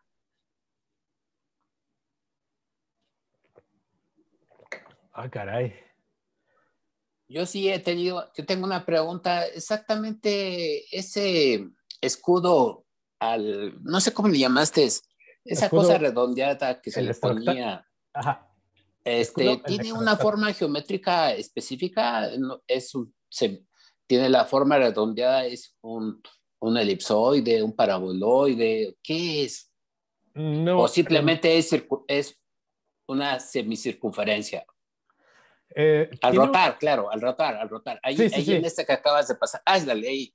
Sí, eh, no tiene una, una forma en particular, porque si, si se fija, esta parte al rotar crearía un toroide, pero tiene secciones rectas aquí. Tiene una sección que es importante curvearla de esta manera para linealizar el potencial. Y aparte en esta zona, eh, aquí no está indicado, pero la, la curvatura termina aquí y aquí cambia de radio también, como para poderse ajustar a las dimensiones. Entonces no tiene una, una forma geométrica eh, definida. o sea, es Pero esa forma se diseñó en forma experimental o... Sí, sí. ¿Podrías la- contar un poquito de eso? Esa es la, la curiosidad que yo de mi parte Sí, tengo. sí, claro. Este, gracias por su pregunta. La, la idea fue, em, inicialmente fue tal cual prueba y error, ¿no? O sea, eh, creo que esa es una de las cosas interesantes de haber terminado el proyecto, es que ahora con esta información, eso de, sí podría utilizarse ya en un software de optimización o, o incluso utilizando machine learning o algo por el estilo, ¿no? Digo, pienso, y la verdad no, no estoy tan seguro, pero bueno, la idea es que no, sí, al principio fue prueba y error, ¿no? O sea, yo trabajé modificando esta curvatura de varias formas, como explorando varios distintos tipos de curvatura, no nada más una curvatura, sino, explorando varias formas de, esta curva, varios tipos de radio, las combinaciones entre ellos, y luego las combinaciones que había que hacer entre la variación de altura y de longitud. Como que también eh, de repente hubo exploraciones que hice por aquí abajo también de, de cambiar la forma del electrodo. Y aparte encima de todo eso, todavía hicimos modificaciones en la parte de arriba también para tratar de, de modificar el campo eléctrico en todas partes, ¿no? Pero pues sí, fue, fue prueba y error. Para llegar a este escudo, me aventé como, híjole, fueron un montón, pero al final como las decisivas fueron cuatro iteraciones para llegar a este. Y luego de este a este, eh, yo creo que han de haber sido como otras cuatro también. Híjole, ya ni me acuerdo. Sí, sí, debi- debieron sí haber sido como ocho, pero entre esas ocho hubo un montón que, que hacía, pero pues no reportaba, ¿no? Como que las hacía y medio las platicábamos y nos brincábamos a otra y la platicábamos y nos brincábamos a otra y así. Ah, Gabriel, pero a lo mejor platica cuál es el criterio para cambiar la forma. O sea, cuáles son, cuáles son las características que estamos buscando, las cuales te hace decidir que, que- Ah. un, un perfil en particular es bueno o es malo. Claro, claro, sí, perdón. Este, la idea era, las características de la curva de aquí dentro son, bueno, es que en combinación con todo lo demás, tiene que ayudarnos a linealizar el potencial en la, superficie interna de la- del aislante, en particular en esta región cerca del triple point, del punto triple.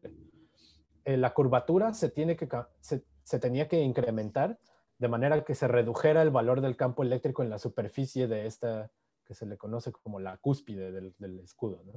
Eh, mini- minimizar el valor del campo eléctrico ahí a través de aumentar el radio de curvatura.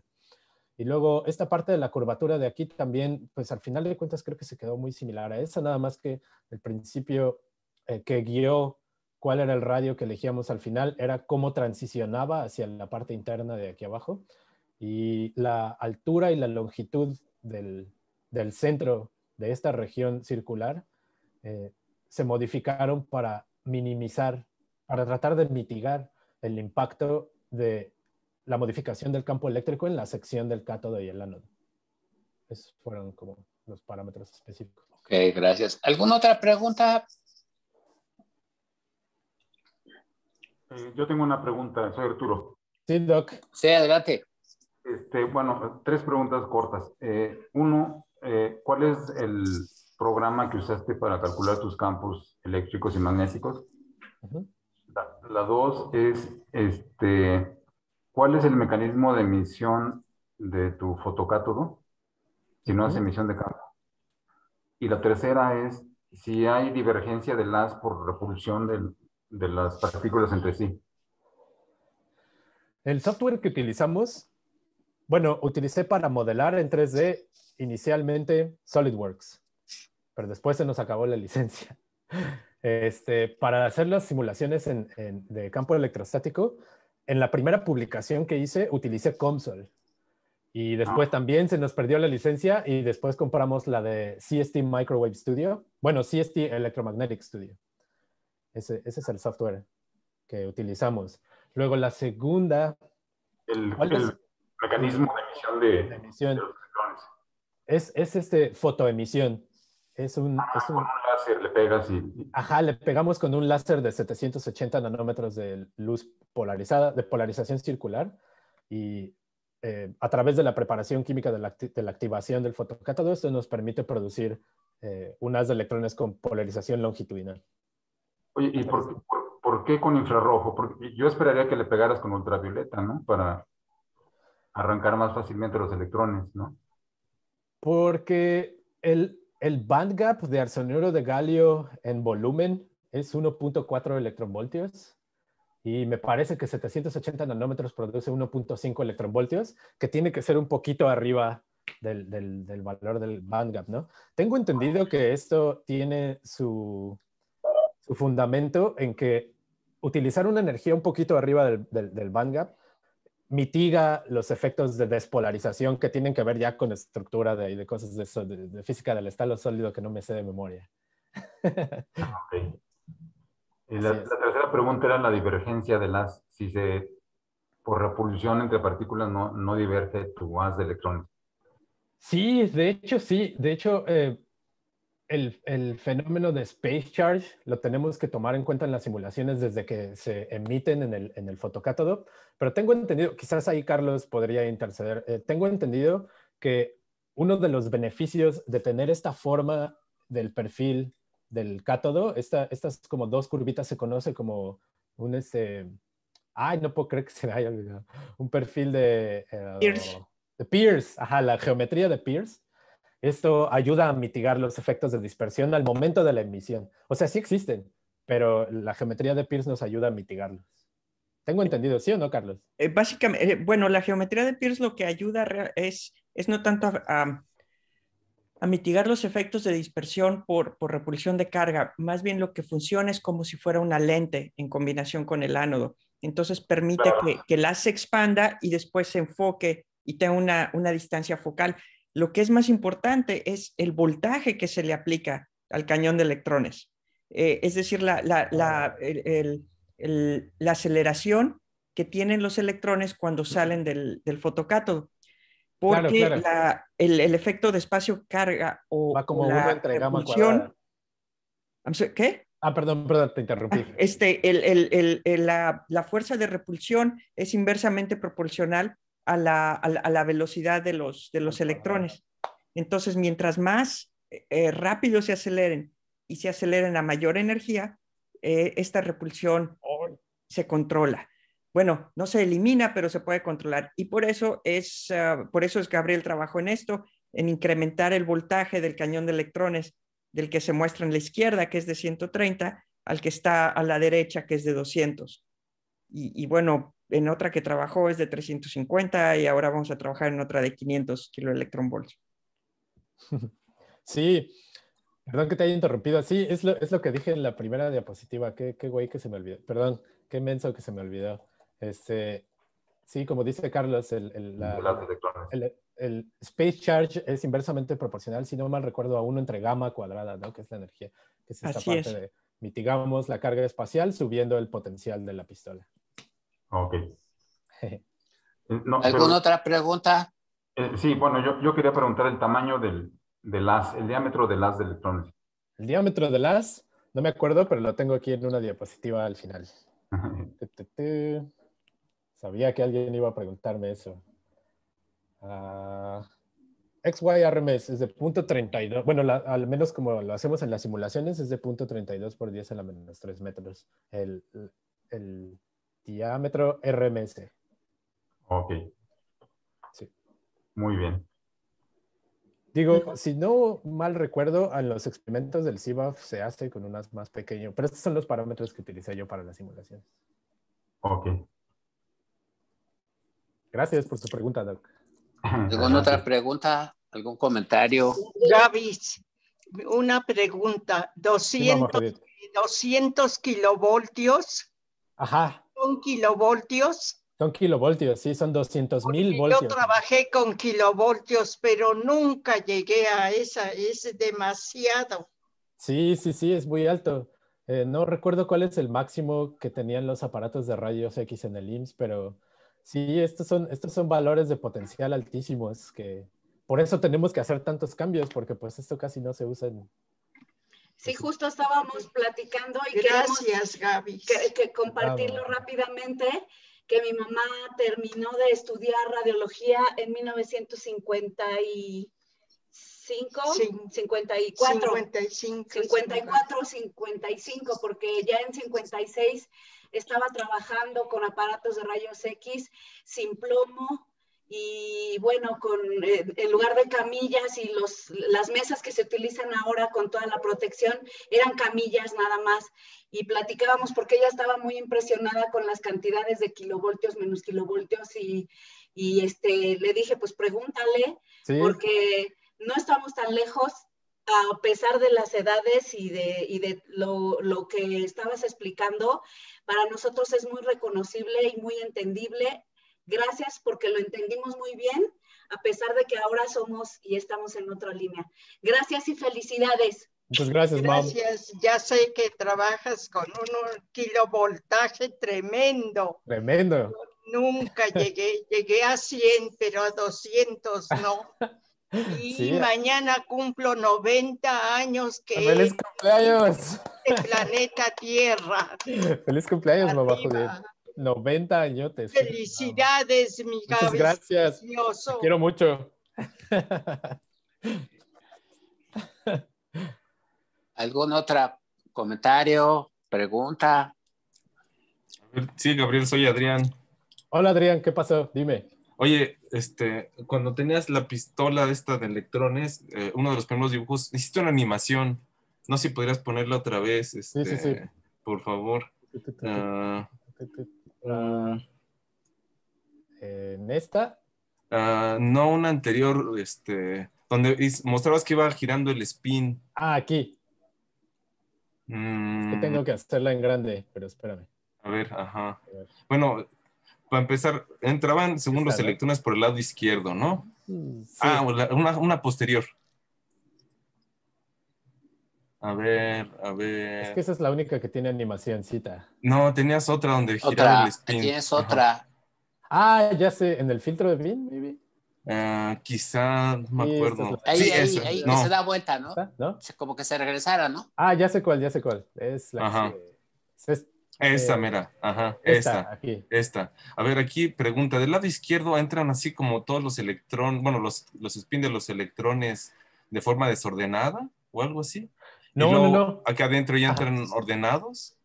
No, no, la idea, una de las, de las, eh, una de las razones por las cuales utilizamos un fotocátodo de arcianuro de galio y, le- y lo iluminamos con luz de polarización circular es que Ajá. produce, el haz que se produce, el haz de electrones, se Ujú. produce con un 80% de polarización longitudinal.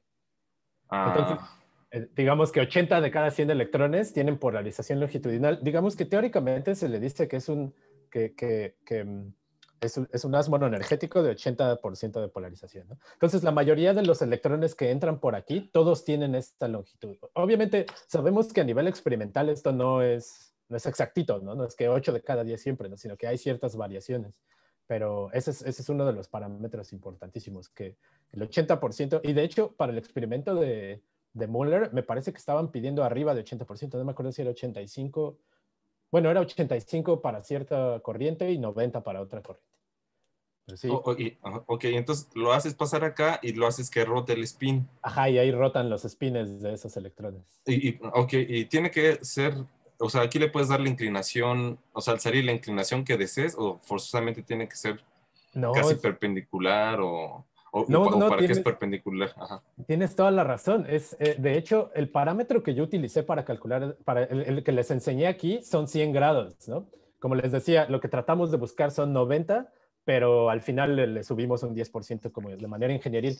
Pero en, ya a nivel operativo, ellos utilizan, eh, bueno, ellos, eh, bueno, en, el experimento ya formal, ya en la parte que ya yo no, tu- yo no, pude, no pude participar, hacen un escaneo, ¿no? Y entonces lo que hacen es que eh, utilizando software computacional de control, tienen calculados las combinaciones entre campo eléctrico y magnético que producen, eh, digamos, 5 grados de rotación, y luego 10 grados de rotación, y luego 15 grados de rotación, y luego 20 grados de rotación, y hacen un escaneo de todos estos parámetros para tenerlos bien localizados a la hora de calcular la estadística que ellos usan para calcular las secciones transversales y cosas así muy locas. Entonces sí, podemos, no necesariamente son 100 grados, pueden ser menos. Aquí es el valor máximo de rotación son 100 grados, pero en- tanto en diseño como en operación se, se utilizan varios ángulos, ¿no? Podemos, y si te fijas a través de la teoría, de hecho podríamos, si los, si los instrumentos son lo suficientemente sensibles, podemos producir cualquier, cualquier este, inclinación. Y más aún, algo que no mencioné, es que en el dispositivo, en el acelerador principal se utiliza una combinación de dos rotores de, de tipo BIN, uno vertical y uno horizontal. Entonces podemos modificar la dirección del spin en tres dimensiones. Es una locura. Ajá, entonces quizá dependiendo del experimento podría sacar aquí una inclinación diferente, un ángulo diferente, Sí, digamos. sí, lo que nos digan así en las salas experimentales, así de ponle 80 y le ponemos 80 y así, así llega. Oye, ajá, y aquí el ángulo que está acá abajo en un cuadrado, en un rectángulo, ese Ajá, es sí. el ángulo final, ¿verdad? Porque aquí lo tienes como función del tiempo, pero aquí yo supongo que ya sale Sí, este, es- cuando el tiempo que te tarda, se tarda en pasar el, el rotor, ¿no? exactamente, sí. Ok, Aquí eh, digo como que no, no mostré todos los pasos. Tengo otra presentación que si quieres te puedo compartir, que es como la- el desarrollo heurístico de esta ecuación a través de las ecuaciones de movimiento de los electrones y su interacción con los campos eléctrico y magnético. Tuve que sacar, tu- tuve que meterme al, al Jackson hacer todo ese rollo. Y la idea es que eh, al final de todo eh, tomamos ciertas, este, as- asumo ciertas cosas y al final de cuentas tenemos que integrar este valor al respecto al tiempo y de esa integración sale esta longitud. Pero sí, Ah, ese es el valor final, digamos. Oye, nada más ah, para el final, este, ¿podrías regresarte a la otra que mostraste, la primera animación que me mostraste? no, bueno, la de, como estaba como que en la pista esta. Ah, ya, ya, esta. Esa mera. Entonces tú nada más estuviste trabajando realmente donde eh, dice eh, la flechita, pistola de electrones y rotor de spin. Sí, esta, este, Es- cua- ajá. este cubito verde, se- creo que se me pasó mencionarlo, esa es la región que se conoce como el inyector, que es donde tenemos los dos. Bueno, los- eh, la pistola de electrones y enfrente de ella hay varios instrumentos, hay muchísimos instrumentos, pero bueno, es la pistola de electrones y enfrente está un bin vertical y un bin horizontal. Ahí es de donde, ahí es donde producimos cierta eh, inclinación de spin a la salida del inyector, como se ve ahí en la, en la animacióncita. A la salida tiene cierta dirección. Y luego eh, hay otro grupo que se dedica a hacer simulaciones. Bueno, varias personas de nuestro, de nuestro grupo se dedican a hacer simulaciones que se les denomina de lattice, que incluyen todos los instrumentos que están en el acelerador con todas las vueltas que tienen que dar. Es una locura. Y a través de esas herramientas, ellos toman como input las, el valor de, de- de la orientación del spin que nosotros les damos a la salida del inyector. Ellos toman eso como input y simulan la interacción de ese spin con todos los instrumentos y al final nos dicen, ah, bueno, para que llegue con cierta, con cierta inclinación aquí, tú me tienes que dar cierta inclinación acá. Y digo, bueno, ya experimentalmente eso se hace también, ¿no? Pero para predecirlo se hace primero con simulaciones. Porque pasa muchas veces, pasa cinco veces y atraviesa muchis- muchísimos instrumentos electrostáticos. Ok. O sea, nada más estuviste ahí trabajando. pues, Esa fue Sí, tu yo- yo- contribución ahí. Mi más, contribución es nada más de esta partecita, sí, sí, sí. Ok, ajá, ajá. Bueno, eso es todo. Si alguien no tiene más preguntas, pues igual, bueno, los dejo para que pregunten, si no, igual puedes hablar de los, más- un poco más a detalle de los experimentos que hacían en ABC. Pero bueno, primero que alguien pregunte. Órale. Sí, A ver sí, si a ver, más. a ver. Eh, ¿Alguien quiere hacer una pregunta, alguna observación, algún comentario? Correcciones, todo, todo se admite.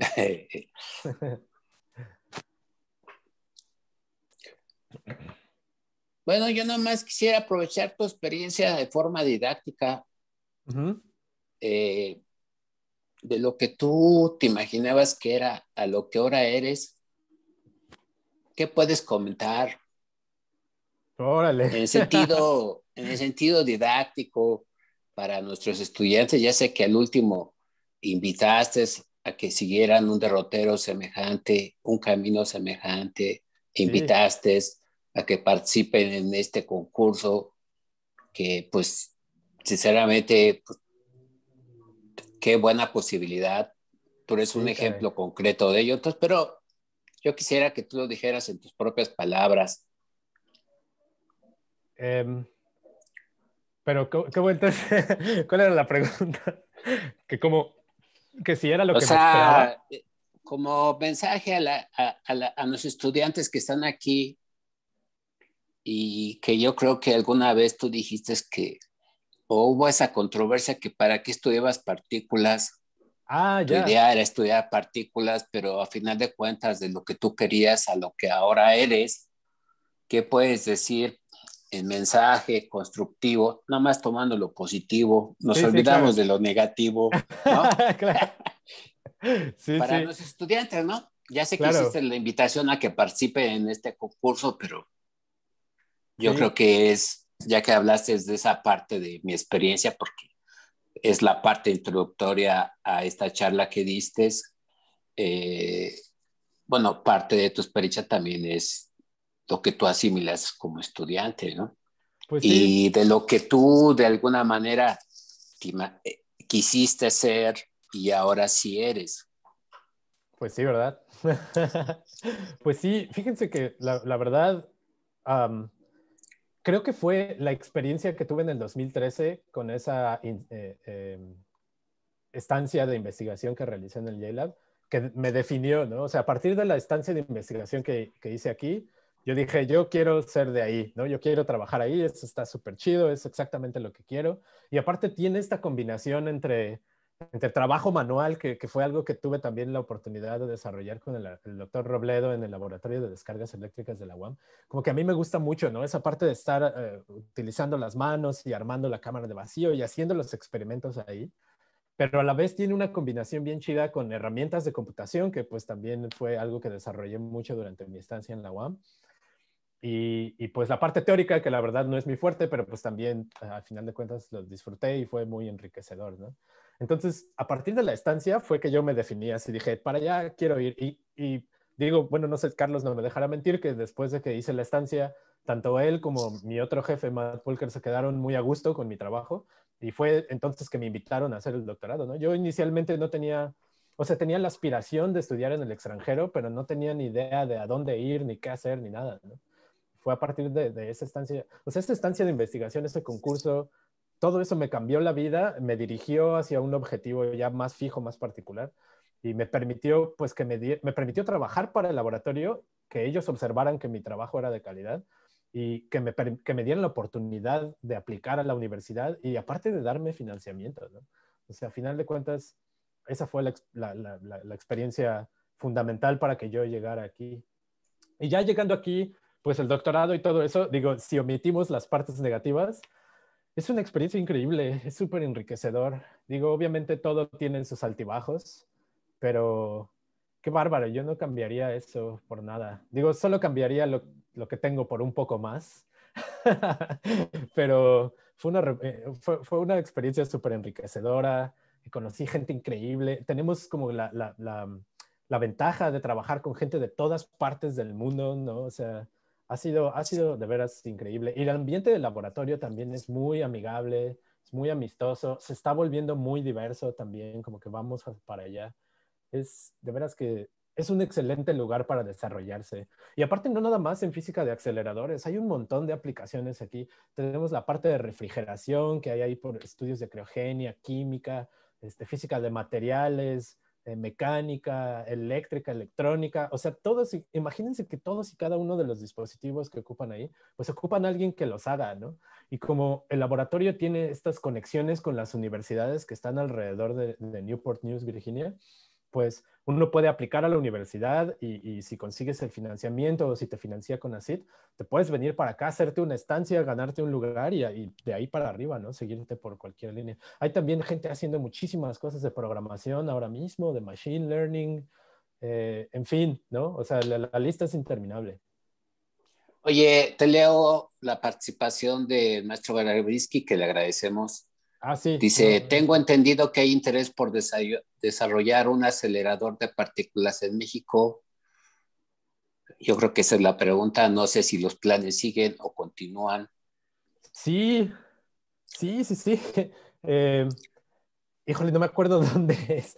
Me parece que es en Guanajuato. Es que siempre me confundo si es en Guanajuato o en Guadalajara porque no he tenido la oportunidad de, ir, pero sí, una de las intenciones de hacer este concurso de con el que yo logré venir a, hacer la estancia, es preparar a, la, juventud mexicana en este tipo de habilidades de física de aceleradores con el objetivo de construir un acelerador de partículas en México.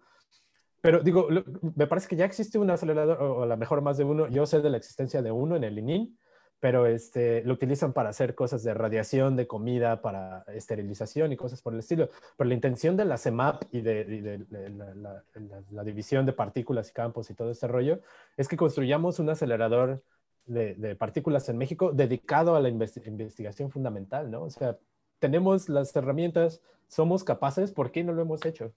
Y pues sí, sí, me parece que el proyecto sigue en marcha, ya adquirieron de hecho, la fuente de electrones me parece que de un acelerador de Brasil. No sé si Carlos, Carlos tiene más información al respecto, pero sí, ese, proyecto, ese proyecto sigue y necesitamos de su ayuda. Ok. ¿Alguna otra pregunta? Bueno, si, si no hay preguntas, queremos eh, agradecerte tu charla, tu experiencia, compartir tu experiencia. Ha sido muy grato escucharte. Muchas gracias. Sinceramente, eh, y también decir que te deseamos, eh, pues, eh, como tú dices, que sigas y continúes en este campo experimental que, verdad, es fabuloso. Me sorprende, como tú una vez ya te lo dije previamente, que tú hables del spin como si fuera una realidad. Como si existiera. sí, como si fuera un planetita y girara y todo. Y, mientras que uno lo estudia, eh, esa cosa como que dices, bueno, es partícula o es onda, y uno tiene con esos problemas de, de incertidumbre, ¿no? De cómo concebirlo. Pero bueno, a final de cuentas, es, yo creo que tu, tu, tu experiencia en el laboratorio, que mides algo, te corrobora ese sentido de, de que sí existe, ¿no? Que sí estás correcto porque si logras medir antes y después lo que te obtienes. Y nada más también quisiera aprovechar para agradecer a tu asesor, uno de tus asesores, a Carlos, no sé, Carlos, Carlos qué? Carlos Hernández García. Carlos Hernández García que nos haya este, acompañado. también al doctor Robledo, que también ahí cogió una parte importante. Sí, como no. Bueno, nosotros más que nada fuimos motivacionales, ¿no? Y yo creo que principalmente el maestro Sam. Entonces, por nuestra parte, muchas gracias. Muchas eh, gracias a ustedes, gracias por la invitación, gracias por todo, les debo todo, muchas gracias. Sigamos adelante, ya saben, ahí cuando se ocupe lo que sea, yo estoy al pie del cañón, vamos a hacer ciencia. Ok, sí, este, pues nada más, nada más para, eh, eh, de veras, Gabriel, disfruté muchísimo esta plática. Ya te he oído muchas veces, pero este, este, estuvo fabulosa, este, y, y qué, qué, agradable poder, poder haber conocido este, a, tus profesores, ver la motivación que tienes y el, y el, entusiasmo con el que lo transmites para los estudiantes, así como la diste para, para el CIMAP. Entonces, les comento a los demás que es es un placer y la verdad un orgullo este, eh, trabajar con Gabriel, haber trabajado con él y esperando trabajar con él en el, en el futuro. Y, es gracias a, este, a estudiantes como él, del ejemplo que van poniendo, que se está formando una comunidad fuerte de física de aceleradores en, en México. Así es que, este, de veras, todo, todo, todo, todo, un, todo un placer y este, así como lo ven que no es entusiasmo, este, así, así trabaja y es el mismo comentario que tienen todos en el laboratorio. Así es que felicitaciones. Muchas gracias, gracias Carlos. Muchas gracias, profesor. Profes, a todos, muchas gracias por su presencia y nos vemos pronto. Creo que quiere decir algo eh, Arturo. Ah, bueno. Sí, bueno, eh, esperamos que un día vuelvan a México, tú y Carlos, y trabajen en un acelerador mexicano. Esa es la idea. Ah, claro, esa es la idea. Ya les, les llevo, llevo 10 años les diciendo, apúrense, quiero retirarme allá. en eso estamos, llevamos tiempo trabajando, así que este, ojalá que suceda pronto. Sí, seguramente tenemos que... Cuídense todos, gracias por su atención, todos y todas. Muchas gracias por asistir. A, Ahí me pasan la grabación. Participaron, a los que se han retirado por, porque pues eh, pues tú, si dieras media hora, yo aquí estaría encantado, pero bueno, otros tienen otras, este, generalmente no son tan largas, pero tampoco hay que decir no a estas cosas que una experiencia que es, ha sido, es, será muy valiosa. No, hombre, pues muchas gracias a todos y, por ahí a ver si me pueden pasar la grabación, estaría chido. Ok, yo te la, yo te la comparto. Sí, sí, sí. Pues. Muchas gracias, profe. Gracias nos despedimos. gracias a todos por su asistencia. Seminario de Hueveles no era Tlahuicali, pero se parece a final de, cuentas. es lo mismo. Muchas gracias. luego. Nos vemos pronto. Adiós a todos.